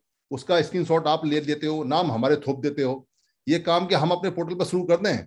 हम यहाँ अपने चार लोगों को बोल दें कि तुम खूब यहाँ गाली गलौज करो उनके नाम से, फिर स्क्रीन लेकर हम भेजें। क्या तुम्हारी तरह हम भी पागल हो जाएँ? ये बातें इतनी बार उनको बताई हैं, उनको समझ में नहीं आती है बात। जब आपके पास ऑप्शन है, जब आप रोक सकते हो, जब आप वीडियो खोल सकते हो, फिर क्यों बार बार शिकायतें करते हो? भाई आपको शिकायत करने की आदत पड़ गई है, आपको उस शिकायत का सोल्यूशन नहीं चाहिए। अब जैसे आपने मुझसे कहा जैसे क्या है कि जो कंचलता बहन जी हैं, जो बात वो कह देंगी, भाई फिफ्टी परसेंट तो लोग वैसे मान लेते हैं क्योंकि महिला है। कोई पूछता नहीं उनसे, भाई ये कैसे सच है, कैसे सही है, कैसे नहीं है? तुम्हारे पोर्टल से आई है, जो मैंने भेजा है मैसेज वो मेरे नाम से है। मैं उसको कहता हूँ कि मैंने भेजा है और मैंने बल्कि सबको कहा कि इसको फॉरवर्ड करो। वो फॉरवर्ड होता है चारों तरफ़। तुम जो मैसेज आते हो वो हम तक आते नहीं, पता नहीं तुम्हारे यहाँ घूमते रहते हैं और सारे काम करते रहते हो। अब हमारे चैट बॉक्स में कोई उल्टा सीधा लिख जाए एंटर करके और वो छाप दें और उसको हम लेके घूमते रहें, ये कहाँ की सच्चाई है? जब आमना सामना आपको बुला रहे हैं और आमने सामने बात करने को तैयार हैं, उसमें दिक्कत कहाँ आ रही है? दिक्कत तो जब आती है जब हम आमना सामना करने के लिए मना करें कि हम तो बात का जवाब देंगे नहीं, हम भागें। आ, आप नहीं रहे हो, बात आपको नहीं करनी है, जो बात की है उसका जवाब आपने देना चाहते हो, इल्ज़ाम हम पे लगाते हो। क्यों लगाते हो? क्यों बदनाम करते हो? इसलिए बदनाम करते हैं ताकि वहाँ जो लोग हैं वो नहीं जा पा रहे हैं। तो वो लोग बढ़ जाएँ। जो अच्छे लोग थे वो ना उधर जा रहे, ना इधर जा रहे। जिनको समझ में आ गया वो इधर आ गए, पर नुकसान हुआ। उनका फ़ायदा नहीं हुआ, क्योंकि पेड़ से टूटी हुई साख तो हमेशा सूखती है। उसका कोई वजूद नहीं होता। उसको तो टूटना टूटना होता है और वहाँ साख और निकल आती है। पर समय लगता है थोड़ा सा उस समय को बचा रहे हैं हम और कुछ नहीं कर रहे। वो जो समय है वो नहीं है हमारे पास में। इसको कोई समझ नहीं रहा कि हम जो हाथ पैर जोड़ते हैं, वो इसलिए जोड़ते हैं कि भाई समय नहीं है। वरना तो ये आइडियोलॉजी संघ और ये विचार इतना ज़बरदस्त है कि इस विचार पे आइडियोलॉजी चल के लोगों ने देश के देश फतेह कर लिए। हम तो कुछ करे या नहीं, हम तो देख नहीं पाए। पहले इसी आइडियोलॉजी पे चल के अशोक ने पूरा देश फतेह कर लिया। बाद में आज के समय आप देख रहे हो कि इसी आइडियोलॉजी पे चल के कितने सारे लोगों ने देश फतेह कर लिया। हम इस आइडियोलॉजी पे चलेंगे तो अपने आप को बचा लेंगे। पर इन झमेलों में कहाँ तक लगे रहे? कैसे लगे रहे? कैसे करें? कैसे ना करें? इसीलिए आज यहाँ ये चर्चा चल रही है, जो अभी ग्यारह बज के आठ मिनट में चल रही है। अब दिक्कत यह है कि किसी ने भी कंचनलता बहन जी से आज तक नहीं पूछा कि मैसेज तो रखो साइड में, जो ये मैसेज आ रहे हैं। पहले ये बताओ कि आपके साथ हुआ क्या? पहले ये बताओ कि आपको किस व्यक्ति ने क्या कहा? पहले ये बताओ कि आप आर एस स्वामी जैसे रेस्पेक्टेबल डिप्टी सीएमओ आदमी को आपने दोगला क्यों कहा? इसको कोई नहीं पूछता। क्योंकि हमने ना तो प्रचारित किया, ना हमने इसका व्हाट्सएप चलाया, ना हमने आपके पास भेजा। अगर आपकी, आपके पास हमने कोई व्हाट्सएप भेजा हो तो बता दो। और अगर नहीं भेजा तो मैं कल भेज देता हूँ। सारे सारे सेफ़ रखे हुए हैं, पर क्या छिचोरी हरकत है? अपने ही संघ की, अपने समुदाय की महिला के आप जो कपड़े फाड़ोगे तो कौन सी इसमें समझदारी की बात है? कौन सी इज़्ज़त की बात है? वो इस हमारी कमज़ोरी को ये समझते हैं कि हम कुछ जानते नहीं है। एक मिनट के अंदर यहाँ जो लोग हैं एक हज़ार लोग एक दिन के अंदर इकट्ठे हो सकते हैं, इतनी पावर संघ के पास है। क्या एक हज़ार आदमियों को संघ ये नहीं कह सकता कि स्क्रीन शॉट पूरे देश में फैला दो? और इससे फ़ायदा क्या होगा? कपड़े किसके फटेंगे? संघ के फटेंगे। संघ कहेगा, देखो, एक महीना ने गलती करी तो ये बाबले भी गलती कर रहे हैं। अरे भाई, वहाँ कोई अगर लिख के चला गया है, मान लो कोई बावला आदमी अगर कोई लिखता है या तुमने लिखा है तो तुम उसको फैलाते क्यों हो? तुम क्या फैला के शो करते हो? तुम्हारी अकल कहाँ चली गई है? तुम काय के तो मिशनरी आदमी हो, तुम काय की महिला हो? और तुम काय की डॉक्टर हो जो उसको ले लेके करती हो। तुमसे अच्छे लाख लाख गुरु तो डॉक्टर आर एस स्वामी है, जो दोगला जैसी गाली खाने के बाद भी चुपचाप बैठे हुए मुस्कुरा रहे हैं और कुछ नहीं कहते। तो ये चीज़ें कौन समझाएगा? कौन इन बातों को कहेगा? कोई आए आमने सामने तो हम तो कहें एक मिनट के अंदर। दिल के अंदर बहुत सारे गुब्बार लेके बैठे किस किस को दिखाएँ? संगी खराब होता है, मेहनत खराब होती है। किसको सफ़ाई दें, किसको ना दें। पर जो ज़रूरी होती है वो कह देते हैं, जो ज़रूरी नहीं होती उसे छुपा जाते हैं। क्या करें? जब संघ चलाना होता है तो सारी चीज़ें समझदारी से करनी पड़ती है, वरना तो इतने सारे लोग हैं, दो मिनट लगती हैं, पर खेल खराब हो जाएगा, सारा सारा हम सब जीवन भर के लिए गुलाम हो जाएँगे। बहन जी, उनका कंचलता बहन जी का तो कुछ नहीं बिगड़ेगा, वो तो चार दिन से आई उनका कोई ऐसा कोई समाज में काम करने का इतिहास नहीं है जो उन्होंने पहले काम किया हो। पूरी नौकरी उन्होंने की है, बहुत बढ़िया परिवार है, पति का बहुत बढ़िया हॉस्पिटल है, पति अलग रहते हैं, वो अलग रहती हैं, समाज सेवा में उनके पास टाइम है, बहुत बढ़िया टाइम किया संघ ने उनकी बहुत इज़्ज़त की, इतनी इज़्ज़त की संघ ने कि किसी महिला की नहीं की। आज अगर वो कहीं जा रही हैं तो संघ की इज़्ज़त की वैसे जा रही है, पर क्या कहेंगी? जिस संघ में उन्होंने काम किया जिस संघ ने इज़्ज़त दी उसी संघ को छोड़ के चली गई। लोग समझते नहीं है कि क्या बात हुई क्या नहीं हुई। पर कुछ कारण तो बताएँ। कारण कुछ है नहीं कारण कुछ बताती नहीं है। क्या करें अपना? माथा पीट लें बताओ क्या करें? आप बताओ क्या करें इसमें? ठीक है भाई साहब आपने जवाब दिया। बहुत बहुत साधुवाद आपका। अरे सुधीर सर मेरे मेरे मेरे यही सवाल थे सर जो मैंने पूछ लिए। मेरे मन में काफ़ी दिन से चल रही थी मैंने कि मैं जुड़ नहीं पा रही थी इसलिए पूछ भी नहीं पा रही थी। आज मैंने पूछ लिया और मुझे लगता है मेरे साथ साथ और भी काफ़ी लोगों को जवाब मिला होगा। लेकिन एक चीज़ और भी साथ में कहना चाहती हूँ सभी को कि मतलब संघ में भी, मैं वहाँ भी बोल के आई हूँ एक दिन जुड़ी थी तो और यहाँ पे भी मेरा सभी से ये निवेदन है कि हम राइटिंग में कुछ भी लिखने से पहले ज़रूर सोचें, विचारें, क्योंकि लिखा हुआ कभी खत्म नहीं होता, ना मिटता, अपने मुँह की ज़ुबान बोली हुई तो फिर भी इंसान एक पल मुकर जाएगा नकार देगा लेकिन लिखा हुआ बहुत दूर तक जाता है और ये वहाँ तक भी जाता है जहाँ नहीं जाना चाहिए। इससे हम सब लोगों का मज़ाक बनता है और संघ का भी मज़ाक बनता है और पूरे समाज का पूरे समण संघ का मज़ाक बनता है। तो लिखने में सभी लोगों से मेरी मतलब विनती है रिक्वेस्ट है कि कम से कम लिखा जाए। जी जय भीम नमो बुद्धाय संगम नमामि धम्मम नमामि। सोनू मैडम जी। जी। ये, जान लीजिए कंचन लता जी से हमने बात किया था हरिप्रसाद बहुत बोल रहे हैं और उनसे हमने बहुत रिक्वेस्ट की कि जो भी बात कहनी है वो आके संघ में कहें कोई कोई ये नहीं कहेगा कि आप ना आइए। जो भी बात है जैसे आपने कहा है तो वो भी आ सकती हैं लेकिन पता नहीं क्यों केवल ब्लेम लगा रही हैं और बाकी आ नहीं रही हैं। सर तो सब समय के साथ अभी और भी अतेंद्र भाई साहब भी जुड़े थे उन्होंने भी कहा और मेरा भी ऐसा विश्वास है कि समय के साथ धीरे धीरे सब आएँगे और संघ को छोड़ के कोई कहीं नहीं जाएगा। आपसे कुछ बिल्कुल। मनमुटाव है और वो धीरे धीरे खत्म हो जाएगा। बिल्कुल बहुत बहुत साधुवाद। जय भीम नमो बुद्धाय सभी और थोड़ा ईगो भी है ईगो की भी बात है। धीरे धीरे आएँगे ज़रूर आएँगे क्योंकि यही से गए हैं ना। सभापति महोदय आपका आदेश दें तो ये सोनू बहन जी के क्वेश्चन का जवाब देवें। सर वो जवाब जिनसे मांगे तो हो गया सर। तो मैं समझता हूँ कि आपकी ज़रूरत नहीं होगी सर। हैंड रेज ले लें sir Abhishek sir. Okay sir कोई बात सभापति महोदय ये जो हैंड रेज है नियम अनुसार एक एक करके फटाफट निपटाया जाए क्योंकि समय काफ़ी हो चुका है। सभापति महोदय। जी जी। हैंड रेज ले लीजिए और सबको बताइए कि टाइम काफ़ी हो गया है। जो भी बात करनी है थोड़ा संक्षिप्त में करें। हाँ, एजेंडे पर ही करें बात एजेंडे पर ही सभापति महोदय एजेंडे पर ही बात करें। और रिपीटेशन बातों का ना करें जिससे समय बचे। जी जी। अभी दो तीन एजेंडे और हैं बाकी जिनको लेना है। दिलीप कुमार जी। जी सर माननीय अध्यक्ष महोदय मैं समझता हूँ कि मुझे जुड़े हुए लगभग एक साल हो गए। जब मैं शुरू शुरू में जुड़ा था तो एक बार ऐसे ही शाम रात को ग्यारह बारह एक एक बज जाते थे। तो एक चर्चा में हम लोग सारे लोग कर रहे थे। उस समय मैंने देखा था, मैं दो चार दिन से ही जुड़ा था, कि कुछ ऐसी बातें हो रही थी, जैसे निरंकारी जी और चौधरी गंगाराम जी। इन लोग ऐसे कटाक्ष की बातें संघ के प्रति करने लगते थे, उसी मीटिंग में करते थे। कटाक्ष की बातें ये लोग उस मीटिंग में ही करते थे। लेकिन यहाँ पे जो संघ में आदमी आता है, वो इतना बेवकूफ़ तो आता नहीं है। इसमें बहुत बड़े बड़े विद्वान भी आते हैं जो अगर वो क कहते हैं तो लोग समझ जाते हैं कि कानपुर नहीं तो कलकत्ता कहेंगे। तो उस समय उनकी मंशा हमने खुद जितना भी मैंने पढ़ा है, उनकी मंशा शुरू से ही संघ के प्रति नहीं थी। वो ज़रूर ये दर्शाते थे कि हम बहुत संगठन से बहुत पुराने कार्यकर्ता है। तो उनकी मंशा ही और उनके बुद्धि का परिचय मैंने यही पढ़ा कि अगर इतने ही संगठन के प्रति ही संघ को छोड़िए संगठन के प्रति अगर वफादार होते तो आज वो कहीं मंत्री विधायक होते। लेकिन संघ में रहेंगे तो या संगठन में रहेंगे तो जब तक आपकी नीयत सही नहीं रहेगी आप कहीं भी विकास नहीं कर सकते समाज का भला नहीं कर सकते। दूसरी बात है कि कुछ लोग अभी जो चर्चाएँ हो रही उसमें हमको लगता है कि कुछ लोग संघ और संगठन में अंतर ही नहीं समझ पा रहे हैं। मैं मानता हूँ कि सुधीर राज सर जी के ऊपर ये ब्लेम लग रहा है कि वो चाहे तो इस संघ को आम आदमी पार्टी में लेके चले जाए।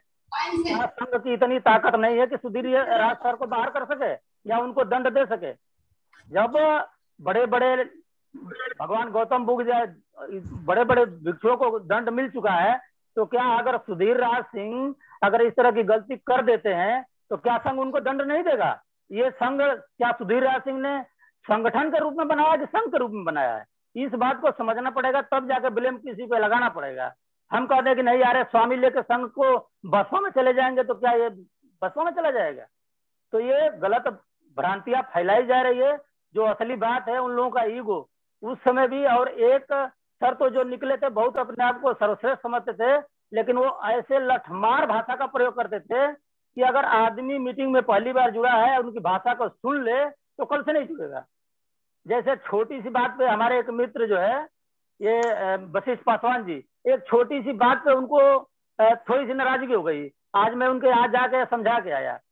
तो बहुत कारण होती है, लोग अपना कारण नहीं बताते कि हमारे अंदर क्या कमी है।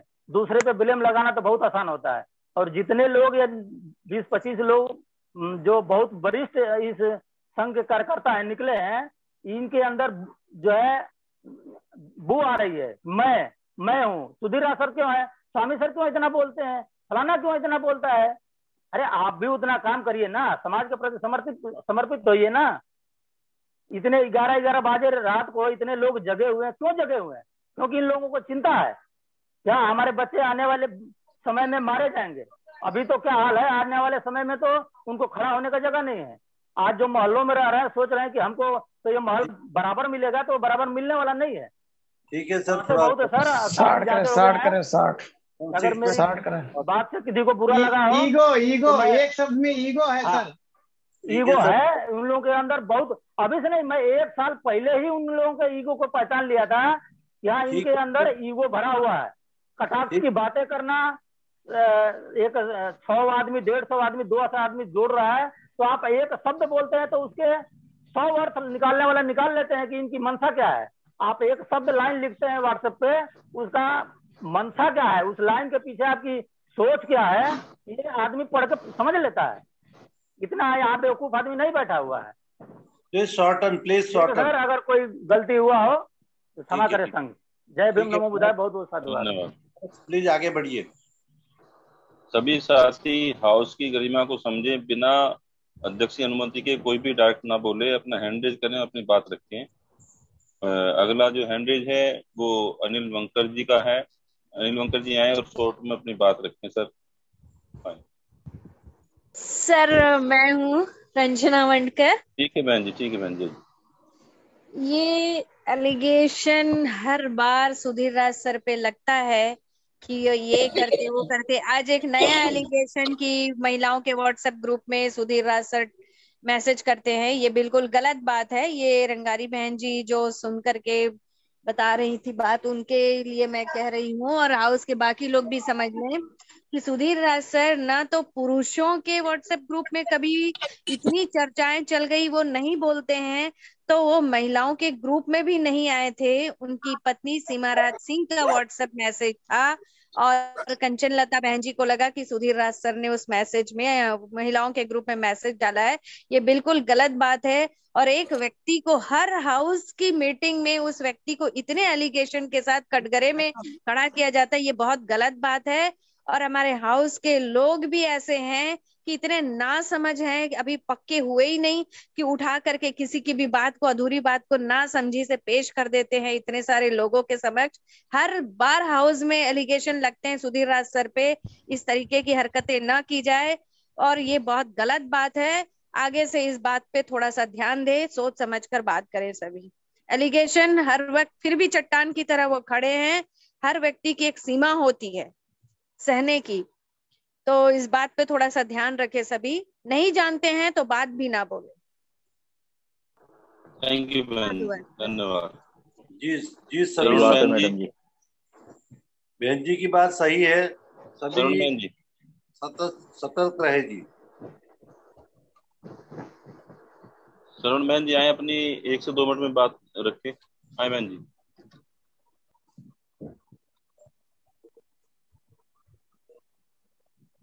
नेक्स्ट को ले लीजिए नहीं है तो।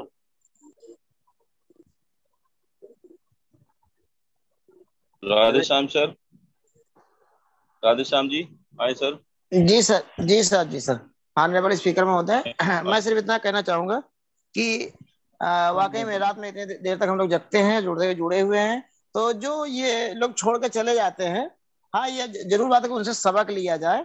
लेकिन उस पर ज़्यादा चर्चा न- की जाए उस पर समय ज़्यादा जाए ना किया जाए।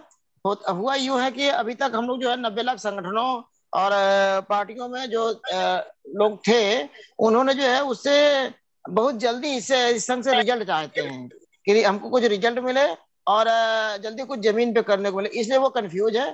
तो अब कल आज नहीं कल उनको समझा लिया जाएगा। लेकिन उन पे ज़्यादा समय जाया, जाया ना करते हुए हम आगे बढ़े निरंतर जोड़ने पे जोड़ने पे काम करें। धन्यवाद। धन्यवाद सर। भगवत किशोर सर?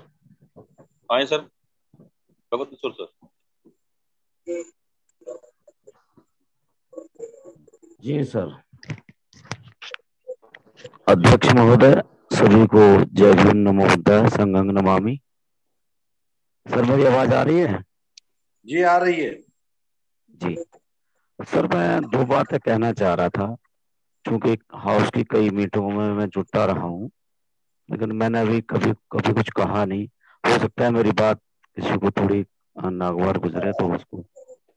मतलब मेरा एक तो कहना यह है कि सर, जो ऑनरेबल स्पीकर नियुक्त किए जाते हैं, यदि कोई संघ का स्पोक्स कोई क्वेश्चन कर रहा है तो कायदे में तो जिसको स्पीकर महोदय बोले कि भाई इसका जवाब ये देंगे, उनको बोलना चाहिए। ये मेरा अपना मानना है। दूसरे मैं एक पुरानी बात की तरफ़ ध्यान दिलाना चाहता हूँ। संघ को जैसे सुधीरा सर ने एक बात कही थी अभी कि संघ हमसे कुछ गलतियाँ हुई, चाहे वो पॉजिटिव थी या नेगेटिव थी, वो अलग बात है। तो मेरा भी ये कहना है, क्या संघ संघ जो बैठा हुआ है, ये भी उसको महसूस करना पड़ेगा संघ को भी कि त्रुटि हमारे किसी मेंबर से हो सकती है, संघ से नहीं। और ऐसा हुआ है ऐसा मैं पिछले आठ महीने पहले बता रहा हूँ और मेरी बात इसलिए मैंने कहा पहले ही खराब लग, लग, लग सकती किसी को कि यदि हम किसी की हाँ में हाँ मिला रहे हैं के किसी भी मेंबर की तो तो वो हमारे लिए अच्छा लग रहा है हम उसको भी अच्छा मान रहे हैं। यूएस लाल ने मेरे लिए बदतमीज शब्द का इस्तेमाल किया था इसी सदन में आठ महीने पहले। डॉक्टर यूएस लाल ने और मैंने एक सिंह सर से बात कही थी कई बार देखो इस इस तरीके में मैंने एक एजेंडे के विषय में क्वेश्चन उठाया था। तो मेरा कहने का मतलब ये है कि आदमी मीठा बोल रहा है तो उसके भी पीछे जाने की ज़रूरत है कि वो वास्तव में हमको खुश करने के लिए मीठा बोल रहा है या फिर उसका इस तरह का कोई मोटिव है।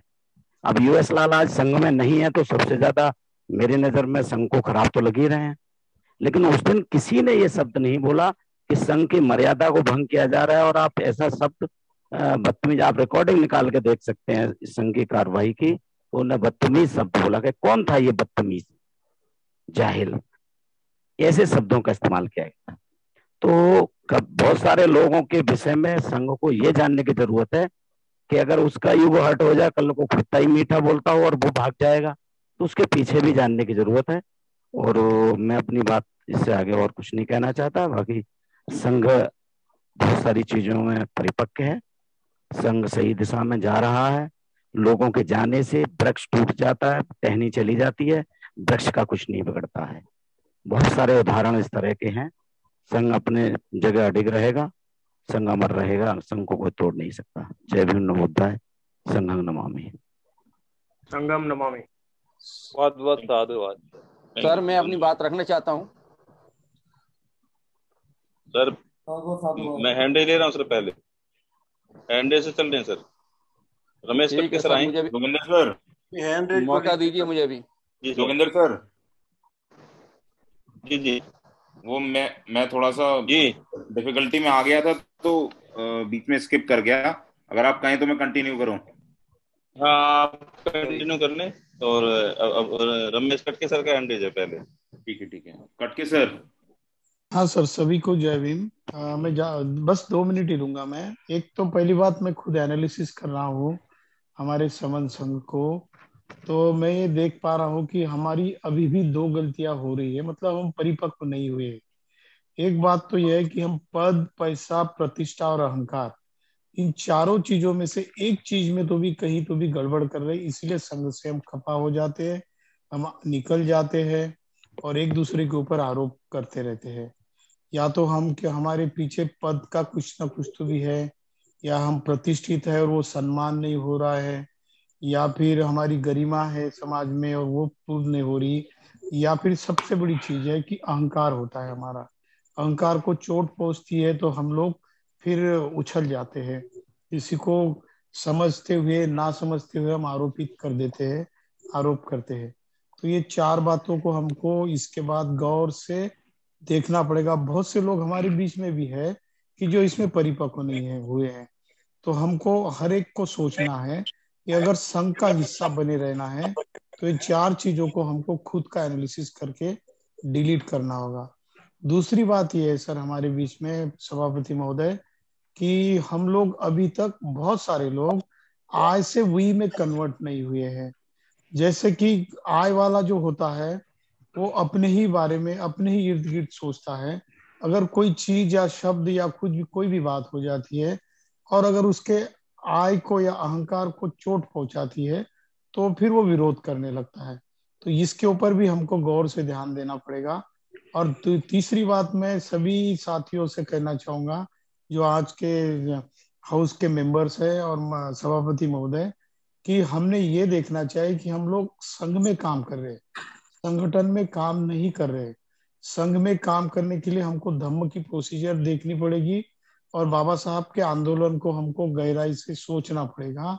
बाबा साहब को भी बहुत चोट होती थी, लेकिन वो चट्टान की तरह तरह खड़े रहते थे और उन्होंने जो बनाया, आज बाबा साहब को देखो और जितने भी बाबा साहब के कंटेम्पररी जो थे, उनके समकालीन थे, उनका नाम कहीं भी नहीं है। लेकिन वो सच का साथ पकड़ के रहते थे। तो आज बाबा साहब दुनिया में नंबर एक पर है। हमारे संघ का भी ऐसा होगा, हमको वक्त लगेगा।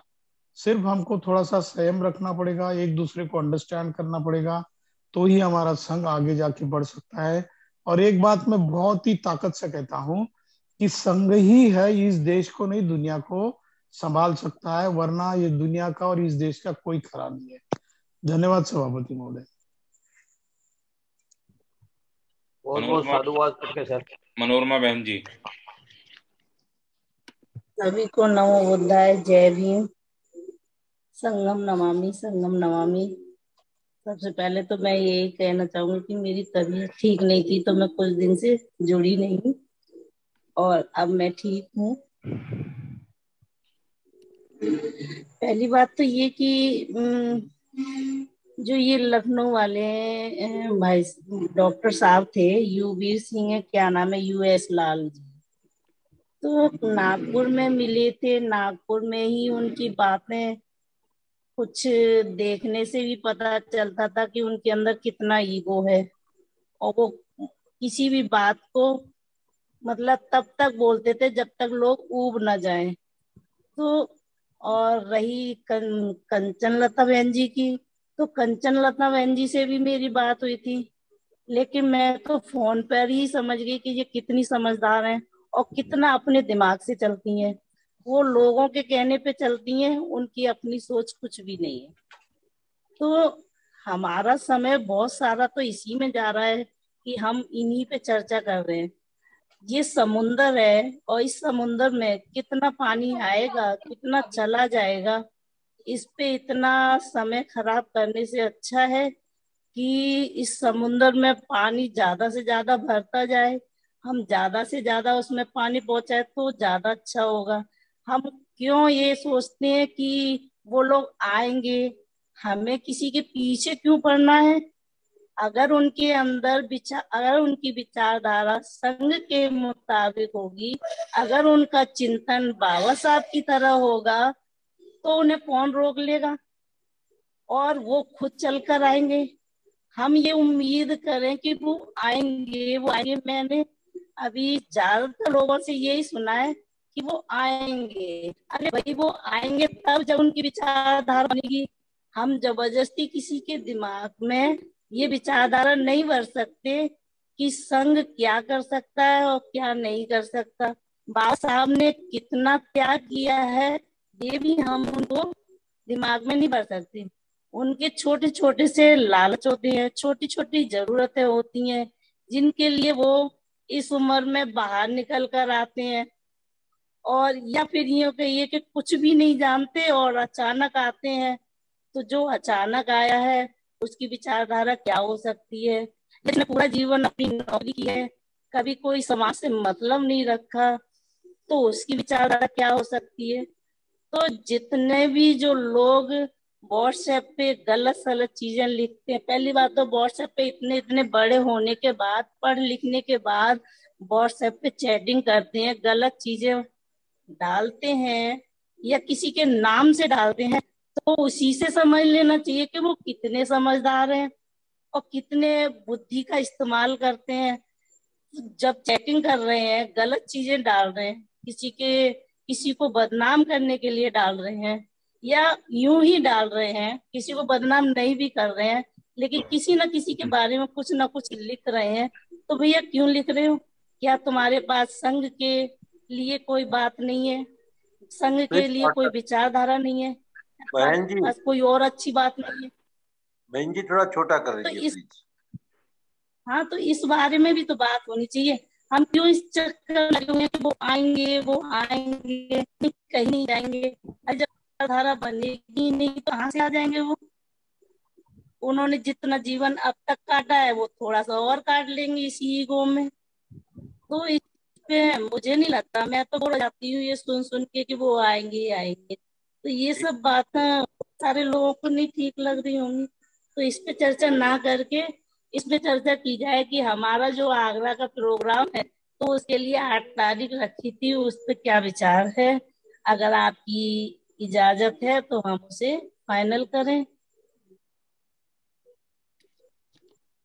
गो अहेड सर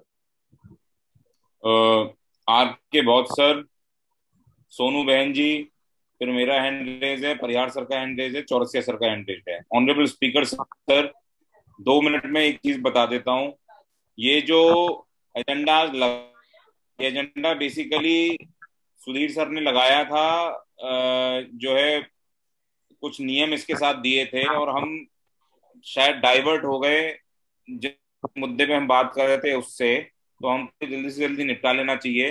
अगर किसी की बात का कोई रिपीटेशन है तो वो रिपीटेशन ना करें। किसी को किसी की बात का कोई जवाब देना है तो वो जवाब अगर ना दें उसके बिना काम चल जाए तो चला लें क्योंकि समय साढ़े ग्यारह हो गया है।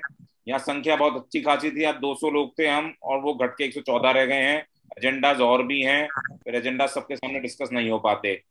तो अपनी बात जल्दी से जल्दी हम सब खत्म कर लेंगे प्लीज़ आर के बहुत सर आ, सभी समर साथी बहनों भाइयों को जय भीम नमोदा मेरा जो क्वेश्चन था वो इसमें सॉल्व हो चुका है सर और अब मैं ज़्यादा नहीं कहूँगा, बस ये इतना ज़रूर कहूँगा मैं जब कोई आदमी किसी पे एलिगेशन लगाता है तो वो अपने बारे में बिल्कुल नहीं सोचता।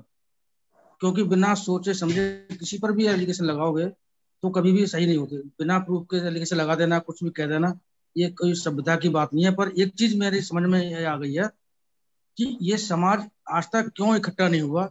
ये आज मेरी समझ में आई है कि जब इतने पढ़े लिखे लोग डॉक्टर, इंजीनियर होकर के इस संघ से निकल के गए। तो एक आम आदमी कैसे इस बात को सोचेगा कि मैं इकट्ठा हो जाऊँगा? इन इन विद्वान लोगों के दिमाग में ये नहीं आई कि हम लोग संघ में हैं और इकट्ठे रहेंगे तभी कुछ कर पाएँगे। दुनिया को उपदेश दे रहे थे, सबको उपदेश दे रहे थे, लेकिन खुद ही निकल गए विचारधारा से। तो ये चीज़ बाबा साहब ने जब कहा था कि पढ़े लिखों ने धोखा दिया, वो बात सही।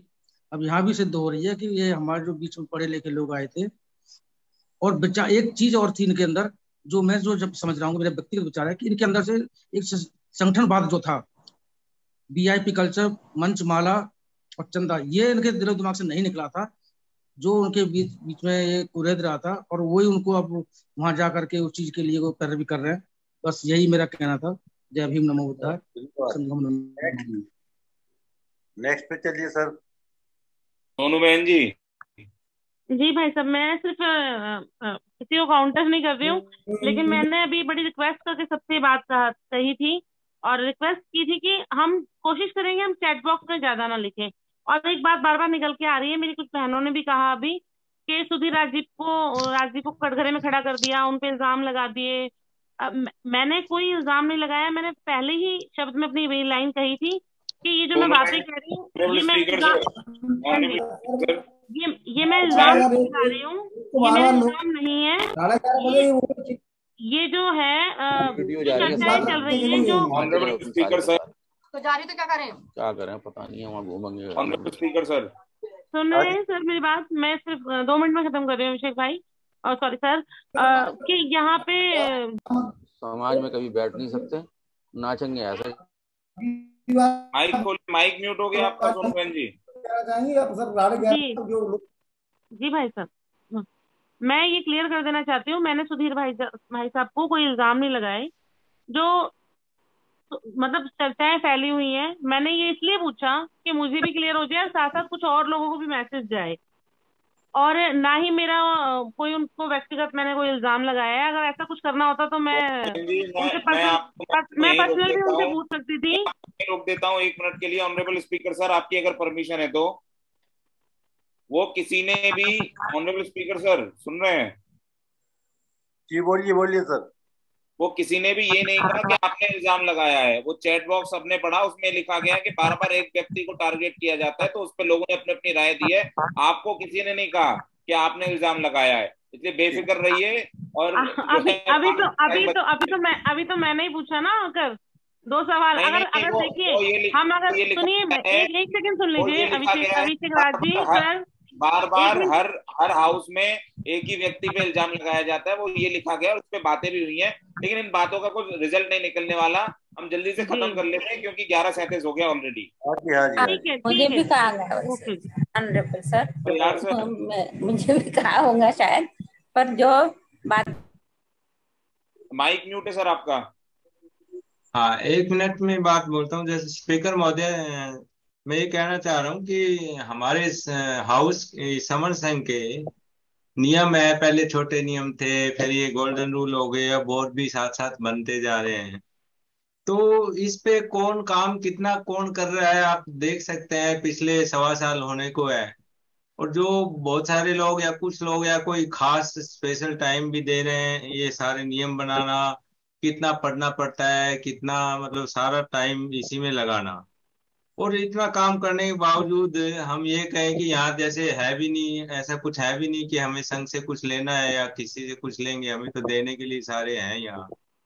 तो उनके ऊपर इस तरह के जैसे इल्ज़ाम लगाना, कोई ये है अभी टाइम ज़्यादा, हमें मौका नहीं मिलता, एक आदमी या मठाधीश या जो जिस तरह के इल्ज़ाम लगाते हैं, और वो वो लोग जो जिन्होंने कुछ किया नहीं, ऐसा कोई टाइम उन्हें कोई मतलब नहीं है नियमों से कोई इस तरह का बनाना है तो कितना मुश्किल होता है, सारी एनर्जी होता है, सारा टाइम लगता है। तो वो लोग ऐसा, उनको चलो संघ में रह, रहते तो ठीक था, लेकिन ऐसे डिमोरलाइज करना, और फिर हम उन लोगों को ऐसे कोशिश करते हैं, आना है, ये क्या फ़र्क पड़ता है, हमें ऐसे लोग नहीं आएँगे तो और नुकसान करेंगे। तो क्यों ऐसा बातें इस तरह की क्यों लेके आ रहे हैं? यहाँ हाउस में इतना टाइम लगाया है। मेरे को तो बिल्कुल नहीं समझ आया। पर तो यार ये तो नियम है हमारे धारण करने सारा कुछ से है। जिनको नियम मानना है या कोई व्यक्तिवाद तो है नहीं या संघवाद है। जब सारे नियम क्लियर है दस गोल्डन रूल बन गए अब और बन रहे हैं। तो इन चीज़ों की कहीं अहमियत है नहीं। जो गलत ले रहे हैं इधर उधर की बातें सुन के अपने मन को जो गलत कर लेते हैं जो भी यहाँ किसी तरह की बात मन में जो कंफ्यूजन पैदा करके तो उसका तो अपनी सोच है अब क्या करें? तो ये तीन चीज़ों पे क्यों टाइम लगा रहे हैं? नहीं लगाना चाहिए था आज भी काफ़ी टाइम लगा दिया इतनी बातों के लिए। भाई साहब एक एक एक चीज़ सिर्फ़ बोलना चाहती हूँ कि अगर नहीं पूछेंगे और मन में रखेंगे बातों को पूछ लेने से अच्छा हुआ ना अगर नहीं पूछेंगे तो वो भी तो नुकसानदेह होता है संघ के लिए। अगर पूछ लेने से शंकाएँ दूर होती है और ये मैसेज दूर तक जाता है और इसका भी तो प्रचार प्रसार होगा तो ये भी तो संघ के लिए अच्छा ही होगा ना? ठीक है हर चीज़ को अपने पर मत लीजिए ये जनरल बातें हैं। आगे बढ़िए सर। जी सर। बीएम के विश्वास सर।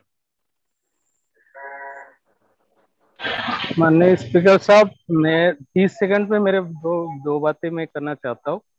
सवा आठ से सर जो हमारा आज का जो संघ का जो मूल विषय के ऊपर जो एजेंडा के ऊपर बात होना था टाइम भी काफ़ी काफ़ी हो गया। टाइम को थोड़ा ध्यान दे और बाकी एक चीज़ को लेकर बार बार रिपीटेशन मुझे लगता है अच्छा नहीं है और जो भी कानून आए और स्ट्रांगली वो कानून का आ जाए जल्दी से। ठीक कह रहे हैं विश्वास सर। हेलो। अभी अभी अभी किया आगे बढ़ा लेते तो हैं इसको करें सर। टाइम बहुत हो रहा है। नानक चंद सुमेर सर।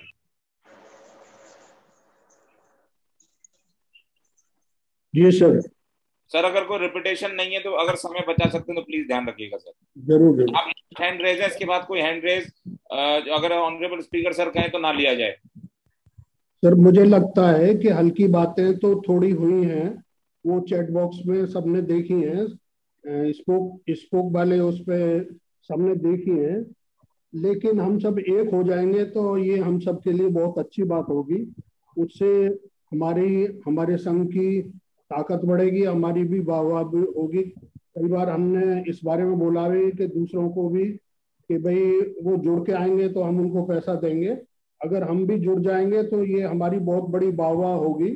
और मुझे लगता है कि मैं मैं तो ये समझ, समझता था कि एक छोटी सी फुंसी है, ये ठीक हो जाएगी। लेकिन एक के बाद एक लोग निकलते गए। मुझे बहुत खुशी होगी और मन करेगा अच्छी तरह काम करने का। सब लोग एक हो जाएँगे। धन्यवाद। धन्यवाद। ऑनरेबल स्पीकर सर जो। सुनील सर के तीन नियम थे जो उन्होंने इस एजेंडा के साथ प्रपोज किए थे आप हाउस से तीन बार पूछ लें अगर किसी का ऑब्जेक्शन नहीं है उनको पारित किया जाए सर बोलिए पारित समझे। पारित समझे पारित समझे। है पारित समझ दीजिए साधु साधु साधु सर। अगला जो एजेंडा है मैं एक मिनट में पढ़ के बता देता हूँ सर। फुल लिस्ट में पीछे चला गया। छुट्टन लाल समन सर तो नेक्स्ट एजेंडा नेक्स्ट में लेने के लिए चैट बॉक्स में रख दिया है उन्होंने। मैं बता देता हूँ सर वो लिस्ट ऑलरेडी तैयार है। संगति मैनेजमेंट कमेटी के नियम। सूर्य राज सर का एजेंडा है। अगर ये जल्दी जल्दी खत्म करते हैं एजेंडा तो हमारा समय बहुत बचेगा सर। जी। वैसे तो ये चार नियम है ऑनरेबल स्पीकर सर इस समिति का जो कार्यकाल है वो एक साल तक रहेगा यानी ती, तीस जून 2023 तक। और नंबर दो है साल भर तक सदस्य बढ़ाने की अनुमति क्योंकि इसमें बहुत सारे सदस्य चाहिए। और हर स्टेट में जब भी काम होगा तो वहाँ इनकी ज़रूरत पड़ेगी। तीसरा है, हर महीने हाउस को रिपोर्ट करेगी ये कमेटी। और चौथा है, मीटिंग को वापस लेने की अनुमति। अगर कोई मीटिंग नियम के अनुसार नहीं चलती है तो उसको वापस लेने की अनुमति चाहिए, ताकि उसको इमीडिएटली वापस लिया जा सके और हाउस को बाद में बताया जा सके, क्योंकि हाउस को एक महीने में रिपोर्ट जाती है तो हमें वो पावर चाहिए कि अगर हमें लगे कि ये मीटिंग नियम के मुताबिक नहीं हो रही तो उनको नोटिस देके और इसको वापस ले लिया जाए। ये चार नियम है, सर। ठीक है। चर्चा पे रखा जाए। ऑनरेबल स्पीकर सर आप तीन बार पूछ लें और इसको जो इस पर डिसीज़न है हाउस ले। न किसी सदस्य को चर्चा करनी है तो मौका दिया जाए। ठीक है कोई चर्चा के लिए तैयार नहीं है तो इसे हम पारित समझते हैं इसे हम पारित समझते हैं इसे हम पारित समझते बिल्कुल बिल्कुल। ऑनरेबल स्पीकर सर अगला जो एजेंडा है वो अतेंद्र कुमार सर का है। बारह तेरह नवंबर संकिसा संगीत संगीति पर हेड खर्चा फिक्सेशन अतेंद्र सर हैं क्या हाउस में? सर। आदरणीय सभापति महोदय जो संगीति समर्थ संघ की संगीति लगने जा रही है बारह तेरह नवंबर की उसकी अप्रैल में ही परमिशन ले ली गई थी। लेकिन उसका जो खर्चा है या जो उसमें वे होगा वो नहीं दिया गया था। तो उसको आज हम देना चाहते हैं। अगर अनुमति हो तो हम बताना चाहेंगे। बता दीजिए प्लीज़ हाँ जी। ये दो दिन की संगीति है। ये उत्तर प्रदेश के फरुखाबाद ज़िले और मैनपुरी जिला दोनों के बीच में संकिसा स्थान है जहाँ पर ये संगीति समर संघ की संगीति होनी है। इसमें जो कमरा की किराया रखा गया है, वो एक दिन का है तीन सौ रुपए। पर पर्सन, एक व्यक्ति अगर आता है तो तीन सौ रुपये देकर एक रात रुक सकता है। अगर वो दो रात रुकेगा तो उसको छह सौ रुपये देने होंगे। उसमें जो एक दिन का खाने का है, जो खाने में चाय, नाश्ता, ब्रेकफास्ट, डिनर सारा कुछ रहेगा उसमें एक सौ पचास रुपये खर्च आएगा प्रति व्यक्ति का। अगर दो दिन का, दो दिन आके रुकता है तो उसको तीन सौ रुपये खर्चा आएगा उसका खाने का। ये पर व्यक्ति होगा, एक दिन कोई रुकता है तो पाँच सौ पचास रुपये लगेगा, और दो दिन अगर रुकता है तो उसका रहना, खाना और उधर जितना घूमना होगा, जो स्टेशन से आना होगा उसको, उसका मिला के हज़ार रुपये पड़ेगा जाके। जो लोकल से लोग आएँगे, उनका सिर्फ़ एक सौ पचास रुपये ही लगेगा। और जो बाहर से आएँगे, जो कन्वेंस नहीं जिसके पास होगा, उसका ढाई सौ रुपये लगेगा। क्योंकि स्टेशन से और संकिसा की दूरी काफ़ी दूरी पड़ जाती है। लगभग बीस किलोमीटर की दूरी के आसपास पड़ती है। पंद्रह से बीस के आसपास पड़ती है तो उसके लिए हम वाहन की व्यवस्था कर देंगे। जैसे बस लगा देंगे जो चौराहा पड़ता है, एक जगह पे मोहम्मदाबाद वहाँ से दस किलोमीटर पड़ता है। वहाँ तक आ सकते हैं तो वहाँ से हम गाड़ियाँ, गाड़ियों के माध्यम से उनको संकिसा तक पहुँचा देंगे। दूसरा सर, जो टेंट का किराया है, वो पैंसठ हज़ार है। वो जो हमारे लोकल के लोग हैं, उसको ही बहन करेंगे। बैनर और झंडा और स्टिकर, ये पंद्रह हज़ार रुपये में बुक हुआ है और वीडियो रिकॉर्डिंग उसकी होगी, वो दस हज़ार रुपये में हुआ है। ये सर पूरा इसमें जो है, ये खर्चा आ रहा है। लेकिन जो आने वाले हैं, वो उनको बता दिया मैंने कि एक दिन का पाँच सौ पचास रुपया देना होगा और दो दिन का जो है, वो अपना उनका खर्चा जो होगा, वो एक हज़ार रुपया होगा। क्योंकि यहाँ पे बारह बुद्ध विहार हैं।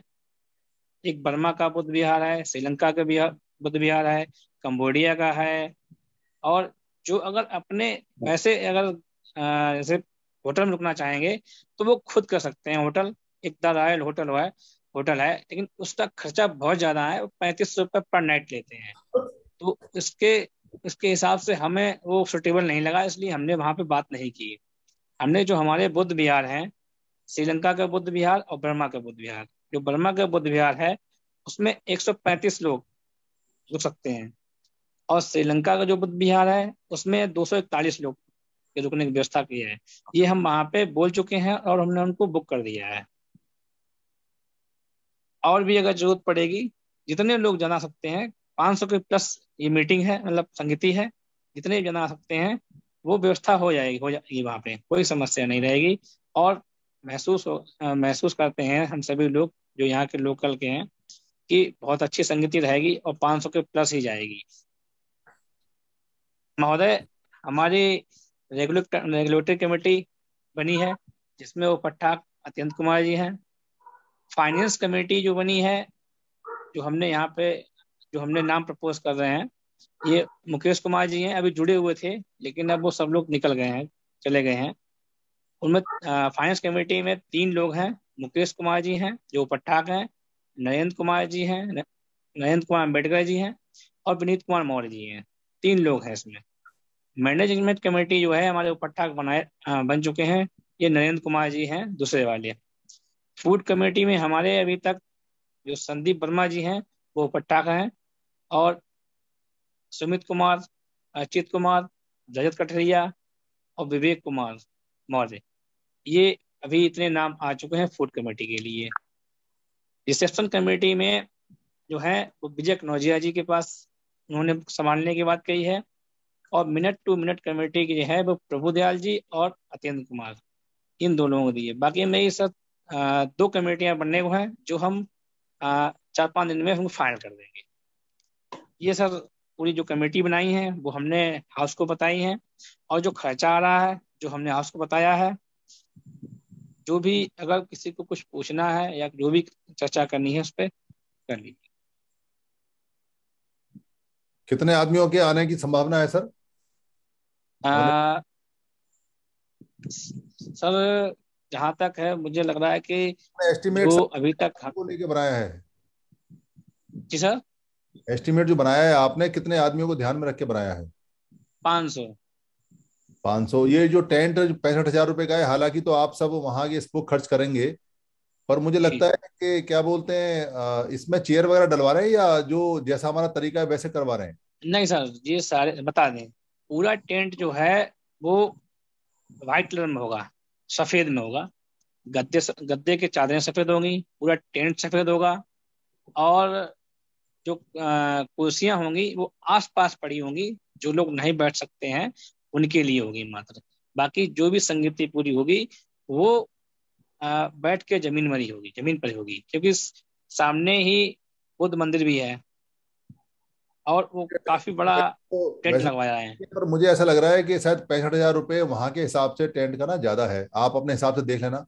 आपका क्योंकि आप खर्चा आप सब वहाँ के स्पोक करोगे तो आपका बचना चाहिए। आपका पैसा बचे संघ का पैसा बचे हमारा बचे एक ही बात है। और इसमें जो आपने खाना है ये खाने का पैसा ले रहे हैं तीन टाइम का खाना है दो टाइम का कैसे किया है ये? सर अ, हम बता दे रहे हैं। मेरे पास सारा एंट्री है। इसमें सुबह क्योंकि सर्दियों का समय होगा तो इसमें बैठती रहेगी। और आठ बजे चाय नाश्ता जिसमें आलू की पापड़ी वगैरह जो होती हैं हमारे यहाँ फ़ेमस चीज़ें हैं वो रहेंगी। उसके बाद दोपहर में डेढ़ बजे से ढाई बजे जो है हम रोटी सब्ज़ी सलाद सारी चीज़ें जो होती हैं वो सारा कुछ देंगे। और अ, शाम को फिर डिनर पूरा रहेगा। मतलब दो दो दो इसमें मील है और एक उसमें ब्रेकफास्ट है और एक बैठी है। जी। और जी। चाय भी होगी शाम के टाइम करीब। हाँ बीच में एक बार हम कॉफ़ी भी देंगे जो वहाँ बैठे होंगे वहीं पहुंचाई जाएगी। अच्छा तो ये तो फिर नॉमिनल खर्चा है मिनिमम ही है कुछ ज़्यादा तो है नहीं बढ़िया है तो। जी एक एक सौ पचास रुपए पर डे का। एक सौ पचास रुपए में तो आपने लंगर चला दिया तो बढ़िया हो गया। अच्छा है। सर मेरी जो वहाँ पे जो हमने बुक किया है उन लोगों ने जो हमको एक्सपेंस दिया है कि इतने होता है हमने वही बताया यहाँ पे। हाँ आपकी जो कमेटियाँ बनी है ना उनमें एक एक जो व्यक्ति है कम से कम इधर से जोड़ा जाएगा। आप मेरे को लिस्ट भेज देना तो उसमें एक एक आदमी जोड़ा जाएगा एक या दो दो आदमी ताकि वो कोऑर्डिनेशन में रहे और आपकी मदद करते रहें। वो नेटवर्किंग से होंगे सर। सर। हाँ। इसमें इसमें सर जो आपका स्टिकर वगैरह और उन पर खर्चा जो पंद्रह हज़ार रुपये ये बहुत ज़्यादा आ रहा है सर। बहुत ज़्यादा खर्चा है। और वीडियोग्राफी दस हज़ार रुपया ये भी मेरे को नहीं लग रहा सर। क्या कोई ऐसा तो इनकी स्थान नहीं वहाँ पर सब बिना टेंट के काम हो जाए सर? कोई ऐसा स्थान नहीं है छत का कोई वहाँ पर धर्मशाला या इस तरह की कुछ? भी सर ऐसा है सर ऐसा है ना कि यहाँ पे अगर हम खुले में करेंगे तो विवादित जगह है। तो इसमें मुझे परमिशन लेनी पड़ेगी पूरी तरीके से लेनी पड़ेगी लिखा पढ़ी करनी पड़ेगी पूरी। अगर हम जो। हमने किया है बर्मा का बुद्ध विहार है उसके अंदर हम कर रहे हैं तो हमें परमिशन की आवश्यकता नहीं पड़ेगी टेंट लगा कर लेंगे। जी इसलिए हमें टेंट लगाना एक मजबूरी है क्योंकि संकिसा में कई बार विवादित स्थल है तो इसलिए वहाँ पे बाहर प्रोग्राम हम करवा सकते हैं ऐसा कुछ नहीं है कि संघ करवा नहीं सकता है संघ करवा सकता है। लेकिन आ, हम चाहते हैं कि हम संघ संघ के जो काम कर कर रहे जी हैं। जी सर। वो जो जगह है वो बड़ी सेफ़ है और बहुत अच्छी है। नहीं जो टेंट पैंसठ हज़ार रुपए जो सुधीर सर ने भी यही बात कही। मैं भी यही बात कर एरिया रहा हूँ पैंसठ एरिया हज़ार एरिया बहुत बड़ा एरिया बहुत बड़ा सर। वो टेंट के लिए एरिया बहुत बड़ा है जहाँ मीटिंग होगी वो। अच्छा वो अच्छा अच्छा अच्छा। उसमें गद्दे गद्दे चादर वगैरह सब चीज़ें नेटवर्किंग कमेटी के कुछ लोग जाकर के फिजिकली उस एरिया को जगह को पूरा देख करके आए हैं। और जो जो बेस्ट पॉसिबल हो सकता है वो वहाँ की जो कमिटी टीम है वो कर रही है। जो स्टिकर वगैरह इसमें कुछ कमी की जा सकती है? जो पंद्रह हज़ार रुपये हाँ सर वो सर हम बता देंगे। वो स्टिकर जो पंद्रह हज़ार रुपया है वो हम लोग कोशिश कर रहे हैं कि हम खुद डिज़ाइन हम खुद डिज़ाइन करके उसको दे देंगे इसमें मेरा पैसा कम हो जाएगा वो हम कर देंगे। जी जी ठीक अभी हमने इसको बजट को अमूमन रखा है इसे पंद्रह हज़ार मान के चल रहे हैं। लेकिन हम इसको हो सकता है कि छह हज़ार में ही करना है। Okay okay. ठीक। सर इस एजेंडे को पास करने के लिए अगर अनुमति प्रदान कर दी जाए तो हम इसको आगे बढ़ाया जा सके। जी अनुमोदन है सर। ये अनुमति है अतेंद्र सर सभापति महोदय मैं ये जानना चाहूँगा कि जो बाहर से व्यक्ति- जो भी मेंबर्स जाएँगे उनके ऊपर कितना खर्चा पड़ेगा? सर जो बाहर से जाएँगे उनका एक दिन का प्रति व्यक्ति पाँच सौ पचास रुपये एक दिन का होगा पर नाइट जी। ठीक सर। अगर वो स्टे शामिल है सर इसमें। अच्छा इसके अलावा और तो हाँ। उसको बाहर करना पड़ेगा? जी नहीं उसको यहाँ कुछ नहीं देना होगा। तब तो ठीक है कोई नहीं ठीक है। जी और अगर वो दो दिन रहेंगे दो नाइट रहते हैं तो उनका एक हज़ार रुपये खाना सहित है ये। खाना चाय नाश्ता साबुन सब कुछ सहित अगर लेकिन तो अतेंद्र सर इसमें मतलब अगर वो दो दिन रहते हैं लेकिन खाना तो दो दिन का ले रहे हैं वो। रुक नाइट में नहीं रहे तो, तो खाने का तो उनको डेढ़ सौ रुपया और देना पड़ेगा ना। हाँ बस सर उतना ही देना पड़ेगा। जैसे खाने के तो दो अगर वो दो दिन रुकता है तो खाने का दो दिन का तीन सौ रुपया हो गया। और साढ़े तीन सौ रुपया कमरे का हुआ तो साढ़े छह सौ हुआ ना उसका। बल्कि सात सौ सर अगर जैसे जैसे मान लीजिए अगर टू नाइट्स अगर रुकते हैं आप दो नाइट अगर रुकते हैं ठीक है सर? तो उसमें छह सौ रुपये कमरे का लेंगे ठीक है सर? अगर एक दिन रुकते हैं एक नाइट रुकते हैं और दो दिन करते हैं तो इसमें सर तीन सौ और प्लस तीन सौ छह सौ रुपये हुआ। ओके ठीक है सर। हम रात लेना होता। अगर कोई अपनी कर, रुकने की रात में व्यवस्था कर लेता है तो उसको कितना करना तो उसको डेढ़ सौ रुपये आवाज़ आ रही है? जी? जी जी आ रही है आपकी आवाज़ आ रही है। सर रहने हाँ का है ठीक है मुझे ठीक है। रह, सुटेबल है रहने का सर बुद्ध विहार में है बर्मा वाले और हाँ। श्रीलंका में। कोई नहीं ठीक है लेकिन सर रहने का और खाने का कोई दिक्कत नहीं है वीडियो वाला और टेंट वाला आप देख लीजिए। तो सर चार पराठे और दो एक्स्ट्रा वाला कॉन्सेप्ट इसमें नहीं रहेगा? सर सभी लोग बाहर से आएँगे तो इसमें मतलब लोकल के भी होंगे लोग लेकिन बाहर से भी रहेंगे क्योंकि दो दिन का है तो जो संगीति रहेगी वो रविवार की रहेगी मतलब तेरह तारीख में और बारह तारीख में जो है जो लोग आएँगे उन्हें क्योंकि घूमने के लिए बहुत है आप पूरे दिन में घूम नहीं पाएँगे वहाँ पे। नहीं तो सर पहले दिन तो हमारा वो कॉन्सेप्ट लागू रह सकता है चार पराठे वाला। नहीं, सर, संभव सर ऐसा संभव नहीं हो पाएगा। कि पहले दिन तो संभव है? कि सारे लोग पहुँचेंगे चार पराठे प्लस दो छह लेकर के। Honourable speaker sir sir. Kishore sir. Sir. जी बोलिए। डेढ़ सौ रुपए ना ऑप्शनल है सर। आपने खाना नहीं लेना है तो आप फ्री में पराठे लेके आ सकते हैं सर उसमें। पर दिक्कत नहीं जो संघ का सर एजेंडा है मैं तो उसके विषय में कह रहा हूँ वो मैं आप समझ क्या है कि इसमें ना सारे लोग जैसे सुबह चलेंगे पाँच बजे चलेंगे तीन बजे चलेंगे कोई ट्रेन से। चलेगा कोई अपनी गाड़ी लेके चलेगा तो खाना बना के और दोपहर क्योंकि संख्या दूर पड़ता है जो जैसे दो ढाई से तीन सौ किलोमीटर से आएगा। हाँ दिल्ली से तो दूर है सर। हाँ तो उसकी तो वाइफ खाना ना बनाए वो तो जाएगी वो तो जाएगी भी नहीं। क्या बात है बनाने में सर? सर इसीलिए बहुत ही खींच तान के रखवाया गया है कि डेढ़ सौ रुपए। दिल्ली दिल्ली वाले सदोसी आके खाना खा के जाना।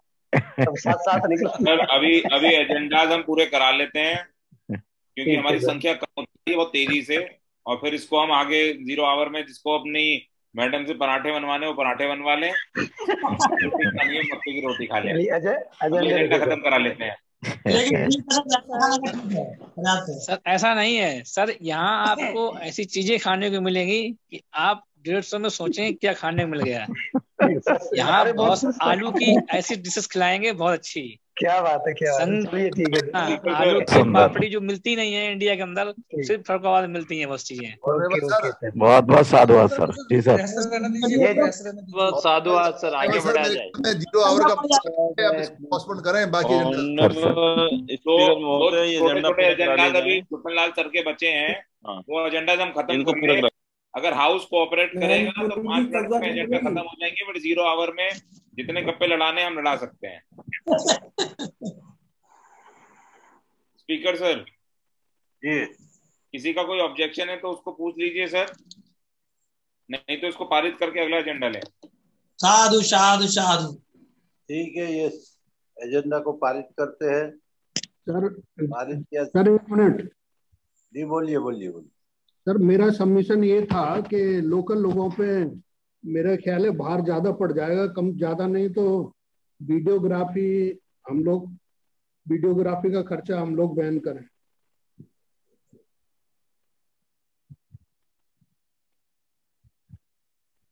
तो लोकल लोग से लोग तैयार हैं ये सब करने के लिए कोई समस्या नहीं आ रही ऐसी।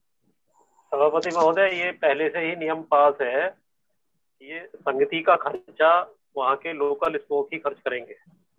ये पहले ही हाउस से पास हो चुका है।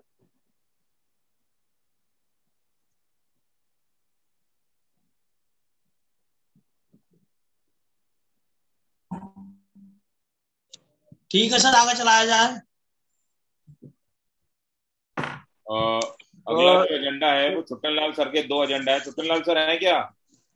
सर हूँ लेकिन मैं दोनों एजेंडा आदरणीय अध्यक्ष महोदय अगले मीटिंग के लिए ले जाना चाहता हूँ दोनों एजेंडा चलिए sir honourable speaker sir ji. वो सर ने अपने एजेंडा जो है वो एडजन किए हैं अगले मीटिंग के लिए। तो हमारे पास एज सच कोई एजेंडा बचते नहीं है। आप हाउस को अगले महीने की एक तारीख के लिए एडजन करके और अगर लोगों को बातें करनी है तो ज़ीरो आवर में कन्वर्ट कर सकते हैं सर जी। सभी मान्यवर सदस्य को धन्यवाद देता हूँ।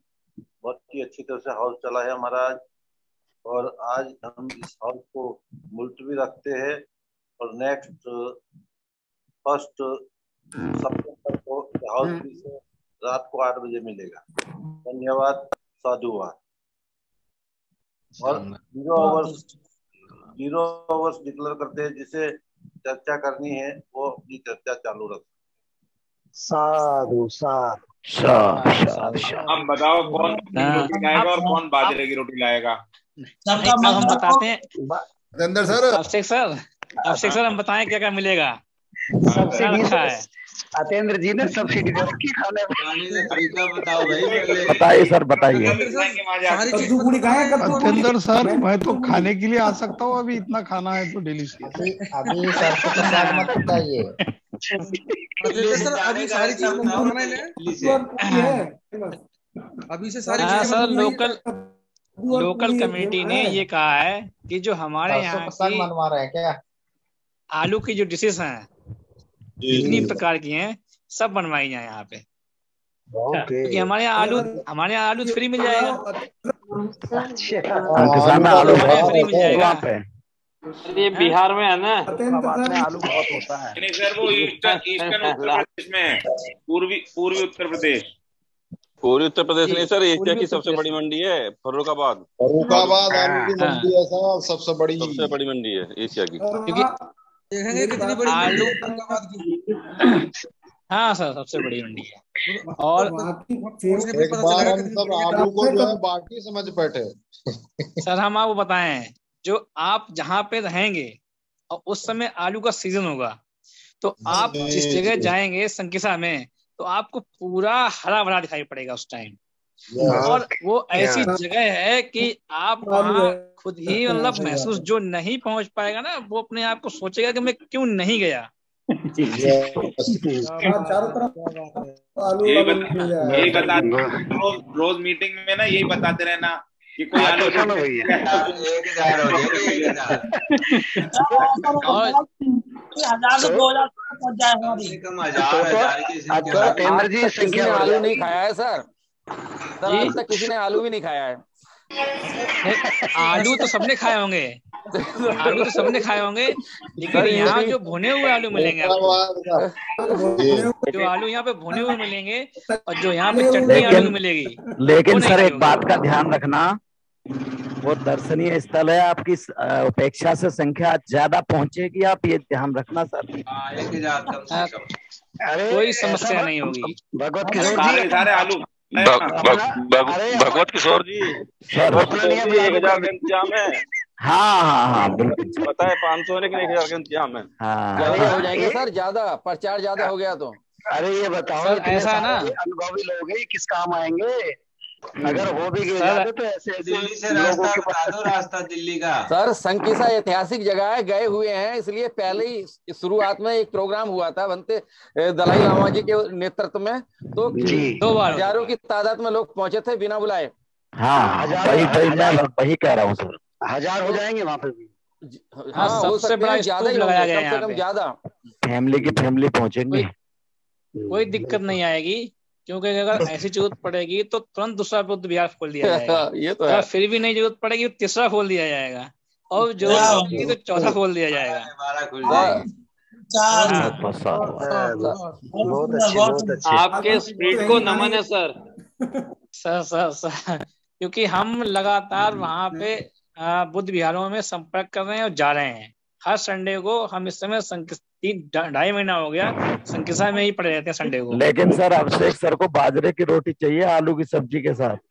मिल जाएगी सर। सर वहाँ जाने का रास्ता बताओ ना। हाँ सर बता रहे हैं। यहाँ अगर आप ट्रेन से आते हैं तो जैसे मान लो महाराष्ट्र वगैरह सभी लोग आते हैं तो आगरा आना पड़ेगा। आगरा या मथुरा। दिल्ली से जो आते हैं वो डायरेक्ट फरुखाबाद आ जाएँगे ट्रेन से। लखनऊ से आते हैं या उस साइड से आते हैं तो कानपुर होते हुए जाएँगे। अगर सर लोकेशन लखनऊ वाले आते हैं तो हाँ सारा कुछ मिलेगा। बस लोकेशन डाल देना सब लोग को रास्ता मिल जाएगा सर चंदोसी वालों को ही बता देना किधर हो क्या है। अरे तो सर चंदौसी वाले आएँगे। चंदोसी हाँ, चंदोसी वाले चंदोसी भागने की वालों के लिए कोशिश ना तो करें। चंदोसी वाले भागने की कोशिश ना करें। अरे क्योंकि हम सुबह जाके काम न करवाएँगे वहाँ अरे सभी लोग तो पैदल भी चंदोसी जा होकर सकते हैं। जाएँगे। चांदोसी से तो पैदल भी जा सकते हैं ज़्यादा दूर नहीं है। चंदोसी वाले सबसे बाद में जाएँगे सर। हमारे पड़ोस का मामला है। आज आ जाइए आप लोग आ जाइए कितना लगेगा सर? कितना लगेगा? कहाँ से सर टाइम बताएँ? बताइए दिल्ली से दिल्ली से दिल्ली से आपको अगर ट्रेन से आएँगे तो सुबह कालिंदी एक्सप्रेस आती है शाम को। और शाम को एक आती है क्या नाम उसका आनंद विहार। वो सब सुबह आ जाती हैं। टाइम कितना सात बजे आती हैं? मतलब अगर अगर आप अपनी गाड़ी से आएँगे दिल्ली से तो मात्र छह छह घंटे लगते हैं। छह घंटे लगेंगे जी क्योंकि हम दिल्ली दिल्ली आकर दिल्ली अक्सर जाते रहते हैं ना। तीन से ज़्यादा लग दिल्ली जाएँगे जाके दिल्ली जाके सुबह मार्केट करके और शाम को वापस आ जाते हैं। अत्यंद्र जी हमारी भी ट्रेन बता दो। सर बताएँ किधर सर आपकी ट्रेन है? सर। योगेंद्र सर। जी। आपको तो पहले आना है ट्रेन की ज़रूरत कहाँ पड़ेगी? एक दिन एक दिन पहले पहुँचेंगे। हाँ सर एक दिन पहले आएँगे चिंता मत करो हापुड़ से तो सर आपको अलीगढ़ होते हुए जाना चाहिए तो ठीक पड़ेगा। नहीं मैं तो चंदोसी होके जाऊँगा मैं अलीगढ़ क्यों जाऊँगा। और क्या? होके जाऊँगा नहीं चंद- चंदोसी में दूध मिलेगा सर प्योर। ये आइएगा स्वागत स्वागत है आपका सर आइए स्वागत है सर आपका स्वागत। इधर सभी लोग बधाई हो गए संभल का रहने वाला हूँ। सर संभल का रहने वाला हूँ मैं। जी जी जी सागर साहब जी जी। हाँ, तो वहाँ से हो सकता है ज़्यादा लोग जाएँ। जी बिल्कुल सर बहुत बहुत स्वागत है बहुत बहुत साधुवाद और स्वागत भी है सर। ए के सिंह सर। सर। ए के सिंह सर। जी सर। जो तो संगति है वो तेरह की है और बारह तारीख की शाम को आपका वहाँ होगा।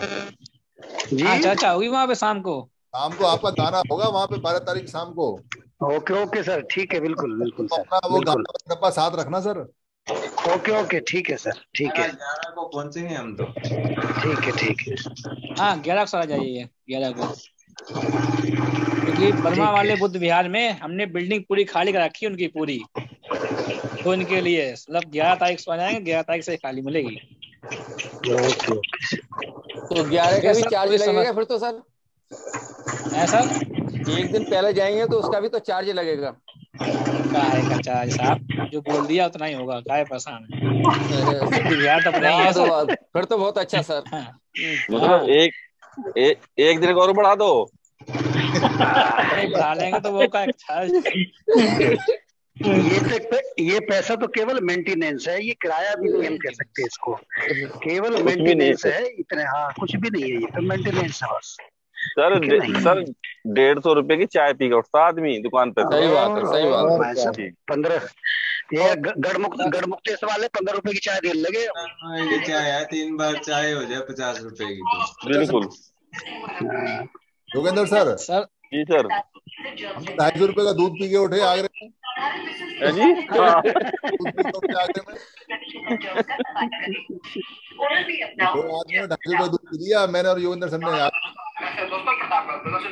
दोनों ने। हाँ बहुत बड़ा- फार्मूला यूज़ करेंगे तो आज से ही आपके पशु का दूध बढ़ना स्टार्ट हो जाएगा। दूध बढ़ना स्टार्ट हो जाएगा। यानी जैसे आज ही खिला देते हैं तो आज से ही यानी सुबह खिला तो शाम तो भी सर अगर पहले आना चाहेंगे कोई समस्या नहीं है क्योंकि स्पीकर में ही। मेरा मतलब है हमारा घर पड़ता है तो वहाँ से स्टेशन से अपने घर ले आएँगे कोई समस्या नहीं है। कम से कम मेरे ही घर पे मतलब मेरे हाल में पाँच लोग सो सकते हैं। फिर तो सर बेकार है लोग मेरे हाल में सो सकते हैं। अरे तो फिर फिर तो इससे बढ़िया क्या बात? लेकिन संगीतीय संख्या में है इसलिए। चलिए चलिए कोई बात एक दिन में सारा बजट हो जाएगा? जी। क्या सर? एक दिन में सारा बजट हो जाएगा? हो जाएगा सर? हाँ हो जाएगा सर। बारह को विज़िट रहेगी। बारह को विज़िट रहेगी तो वो मतलब घूमना घूमेंगे ना सारे? बुद्ध विहार में जाएँगे देखेंगे। हाँ, वही कह रहा हूँ बारह को और तेरह को से हाँ। हाँ वैसे उनका मतलब अलग अलग सिस्टम है सबका कि आठ से दस तक ही खोलते हैं। लेकिन हम सबसे बात कर लिए हैं तो वो पूरा दिन रहेगा कोई समस्या नहीं आएगी। ये बढ़िया इंतज़ाम है सर बहुत ही बढ़िया। बहुत बहुत साधुवाद सर आपके लिए बहुत बहुत शुभकामनाएँ समर और संघ हार्दिक हाँ। शुभकामनाएँ आपका प्रोग्राम एकदम सफल हो जाए। जल्दी सर हमारा नहीं संघ का सर सर संघ का प्रोग्राम है मेरा कोई संघ प्रोग्राम का नहीं है। संघ हम सबका। का होगा सर। संघ का है सर। अदन कुमार। सर सर मैं बड़ौदा से आ रहा हूँ अपनी गाड़ी से आ रहा हूँ। ऑलरेडी मैंने आपको नाम भी भेजा था मेरा और वाइफ का बुक का ऑलरेडी बुक कर दीजिए दो लोगों का। जी और बड़ौदा सर गुजरात से मैं गाड़ी से आ रहा हूँ संकी सर। अतेंद्र सर एक कमरे में क्या लोग रुक सकते हैं? हाँ सर एक कमरे में चार लोग अच्छा पाँच अच्छा लोग अच्छा बता रहे हैं। पूरा मेरे पास लिखा हुआ है हम बता रहे हैं आपको सब। एक मैडम सब बता रहे हैं। आ, जो बर्मा वाला है उसमें एक कमरे में चार से पाँच लोग रहेंगे। और जो श्रीलंका वाला है उसमें सारे रूम्स अलग अलग हैं। इकतीस से सैंतीस चार लोग रहेंगे चार चार लोग रहेंगे। अड़तीस नंबर में नौ लोग रहेंगे उनतालीस नंबर में सात लोग रहेंगे। चालीस से पैंतालीस वाले में सोलह लोग रहेंगे। और मतलब सोलह सोलह लोग रह सकते हैं। और छियालीस हाँ। में तीन लोग रहेंगे सैतालीस में पाँच लोग उनचास में छह लोग पचास में पच्चीस लोग। एक साथ हॉल है पूरा। उसमें बेड मिलेगा गद्दा मिलेगा रजाई मिलेगी सब मिलेगा उसमें। चलिए चलिए ठीक अच्छा है। बहुत जी अच्छे इसी तरीके से तिरसठ नंबर चौसठ नंबर दस दस लोग रहेंगे। पैंसठ में इकहत्तर में अट्ठाईस लोग रहते हैं। ओके और हाँ, बहत्तर में अठारह लोग रहेंगे तिहत्तर में अठारह लोग रहेंगे चौहत्तर में हाल हैं ये ये दस लोग रहेंगे चलिए काफ़ी है। जी और सभी में बेड पड़े हुए हैं सभी में गद्दा रजाई सब रहेगी। चलिए ठीक। और जहाँ हाँ तक जो रूम है वो अटैच लेटरिन बाथरूम है। वेरी गुड बहुत अच्छे। हम्म, बहुत ही बढ़िया बहुत ही बढ़िया। कि क्लीनिंग वगैरह जो है वो हम दो दिन पहले सारी खुद अपने सामने करवा लेंगे जाके। हमारी जो कमेटी बनी हुई है वो सब जाकर करवा लेगी। ओके ओके ठीक है। ए के सिंह सर रूम बहुत अच्छे हैं? चलिए बढ़िया अच्छा है। बहुत बेहतरीन रूम है और नए नए भी होंगे तो संघ पहुँच जाएगा तो अपने आप अच्छे हो जाएँगे वो। नहीं सर मैं मैं बता रहा हूँ देखे हुए हैं सर। कहो तो जी जी आप हाँ हाँ। भेज दूँगा मैं अच्छा अच्छा आप लोग तो गए थे। चलिए अच्छा है बढ़िया है। हाँ ठीक है। बहुत अच्छा। नवरात्रि करे सर? बिल्कुल सर सर आगरा से लगभग कितनी दूर पड़ता? है सर आगरा से 160 किलोमीटर पड़ता है। दो घंटे का रास्ता है एक्सप्रेस वे से। Thank you sir ji sir. लगता है आइडल संगति होने जा रही है अब। संगी संगी बिल्कुल बिल्कुल बिल्कुल। आइडियल होगी। एक जेपी अंबेडकर साहब। सर रामपुर की भी ऐसी होगी चिंता मत करो। कभी पहुँचे भी नहीं। आए जगह कहाँ करवानी जेपी सिंह अंबेडकर सर कल कल तो पहुँचे ही नहीं आप लोग। कल कल जगह देखने जाने थे लेकिन क्या करें वो मौसम ज़्यादा खराब हो गया। कल इस वजह से जा नहीं पाए। तो वो अब जो है नेक्स्ट टेन डेज़ के लिए जो है आगे पोस्टपोन कर दिया प्रोग्राम काम का चक्कर कर रहे काम का। फिर भीमताल में पहाड़ भी कोई गिर गया है वो वहाँ से लोकेशन पता कर रही थी तो बाद में? हाँ जी। भीमताल में कोई पहाड़ खिसक गया है सर बरसात में खिसकता ही है। इसलिए जो है बरसात के महीने में जाना नहीं चाहिए पहाड़ी क्षेत्रों में। जी जी। नहीं वहाँ पर पार्टी करवाना वो जो लोकेशन मिल जाएगी उनकी सही वाली।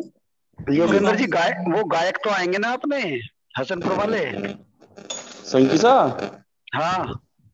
हाँ लेकर आएँगे। क्यों नहीं हाँ ना ना उनको ठीक है। दो दिन का कार्यक्रम है तो उनका होना ज़रूरी है अच्छा दो रहेगा। दिन का कार्यक्रम में रात में शाम को उनका ही बजाएँगे खूब दबा के। हाँ हाँ हाँ हाँ।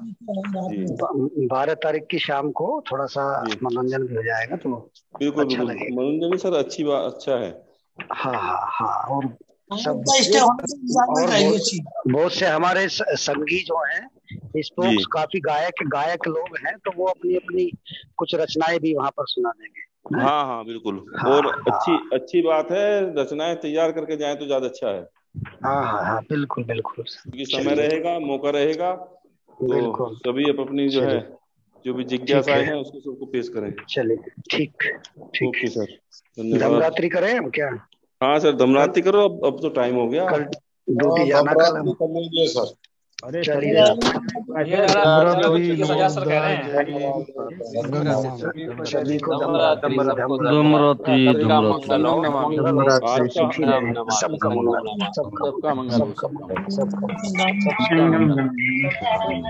हाउस बहुत अच्छा चला आज और जो हमारे स्पीकर महोदय थे अच्छा।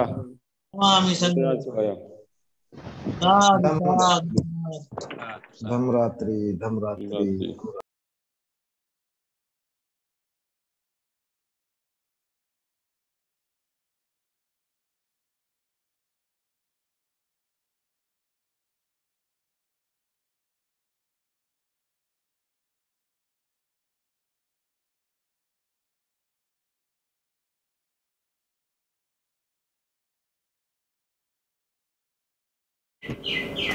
आप सभी से ये निवेदन है कि अगर आपको ये वीडियो अच्छी लगती है या बाकी वीडियो अच्छी लगी हैं, और आपको लगता है कि धर्म की वीडियो किसी को और मिलनी चाहिए या किसी को गिफ्ट में भेजनी चाहिए या किसी भाषा में कन्वर्ट करके आगे बढ़ानी चाहिए या प्रिंट में, किताब में छापनी चाहिए या इसकी जो ऑडियो है उसे निकाल के भेजना चाहिए या इसका किसी पार्ट को इस्तेमाल करना चाहिए तो आपको लिबर्टी है, आपको छूट है। ये सभी कॉपीराइट फ्री हैं। आप अपने फेसबुक पे, अपने पेज पे, अपने ट्विटर पे या अपने हैंडल पे या लिंक को कहीं भी शेयर कर सकते हैं, कहीं भी चला सकते हैं, आप यूट्यूब पे भी चला सकते हैं, अपने नाम से चला सकते हैं। इसके लिए इजाज़त लेने की या परमिशन ले, लेने की बिल्कुल भी ज़रूरत नहीं है। आप इसको अपना मान के चलाएँ, क्योंकि धम्म सबका है। हम जो बताते हैं, वो भगवान बुद्ध का है या महापुरुषों का है। उन्हीं की बात को सरल भाषा में बताते हैं। हमारा सिर्फ़ इतना राइट है इस पर कि हम इसको लोड कर देते हैं। बाकी सारी ये पूंजी आपकी है। धन्यवाद। शरणं गच्छामि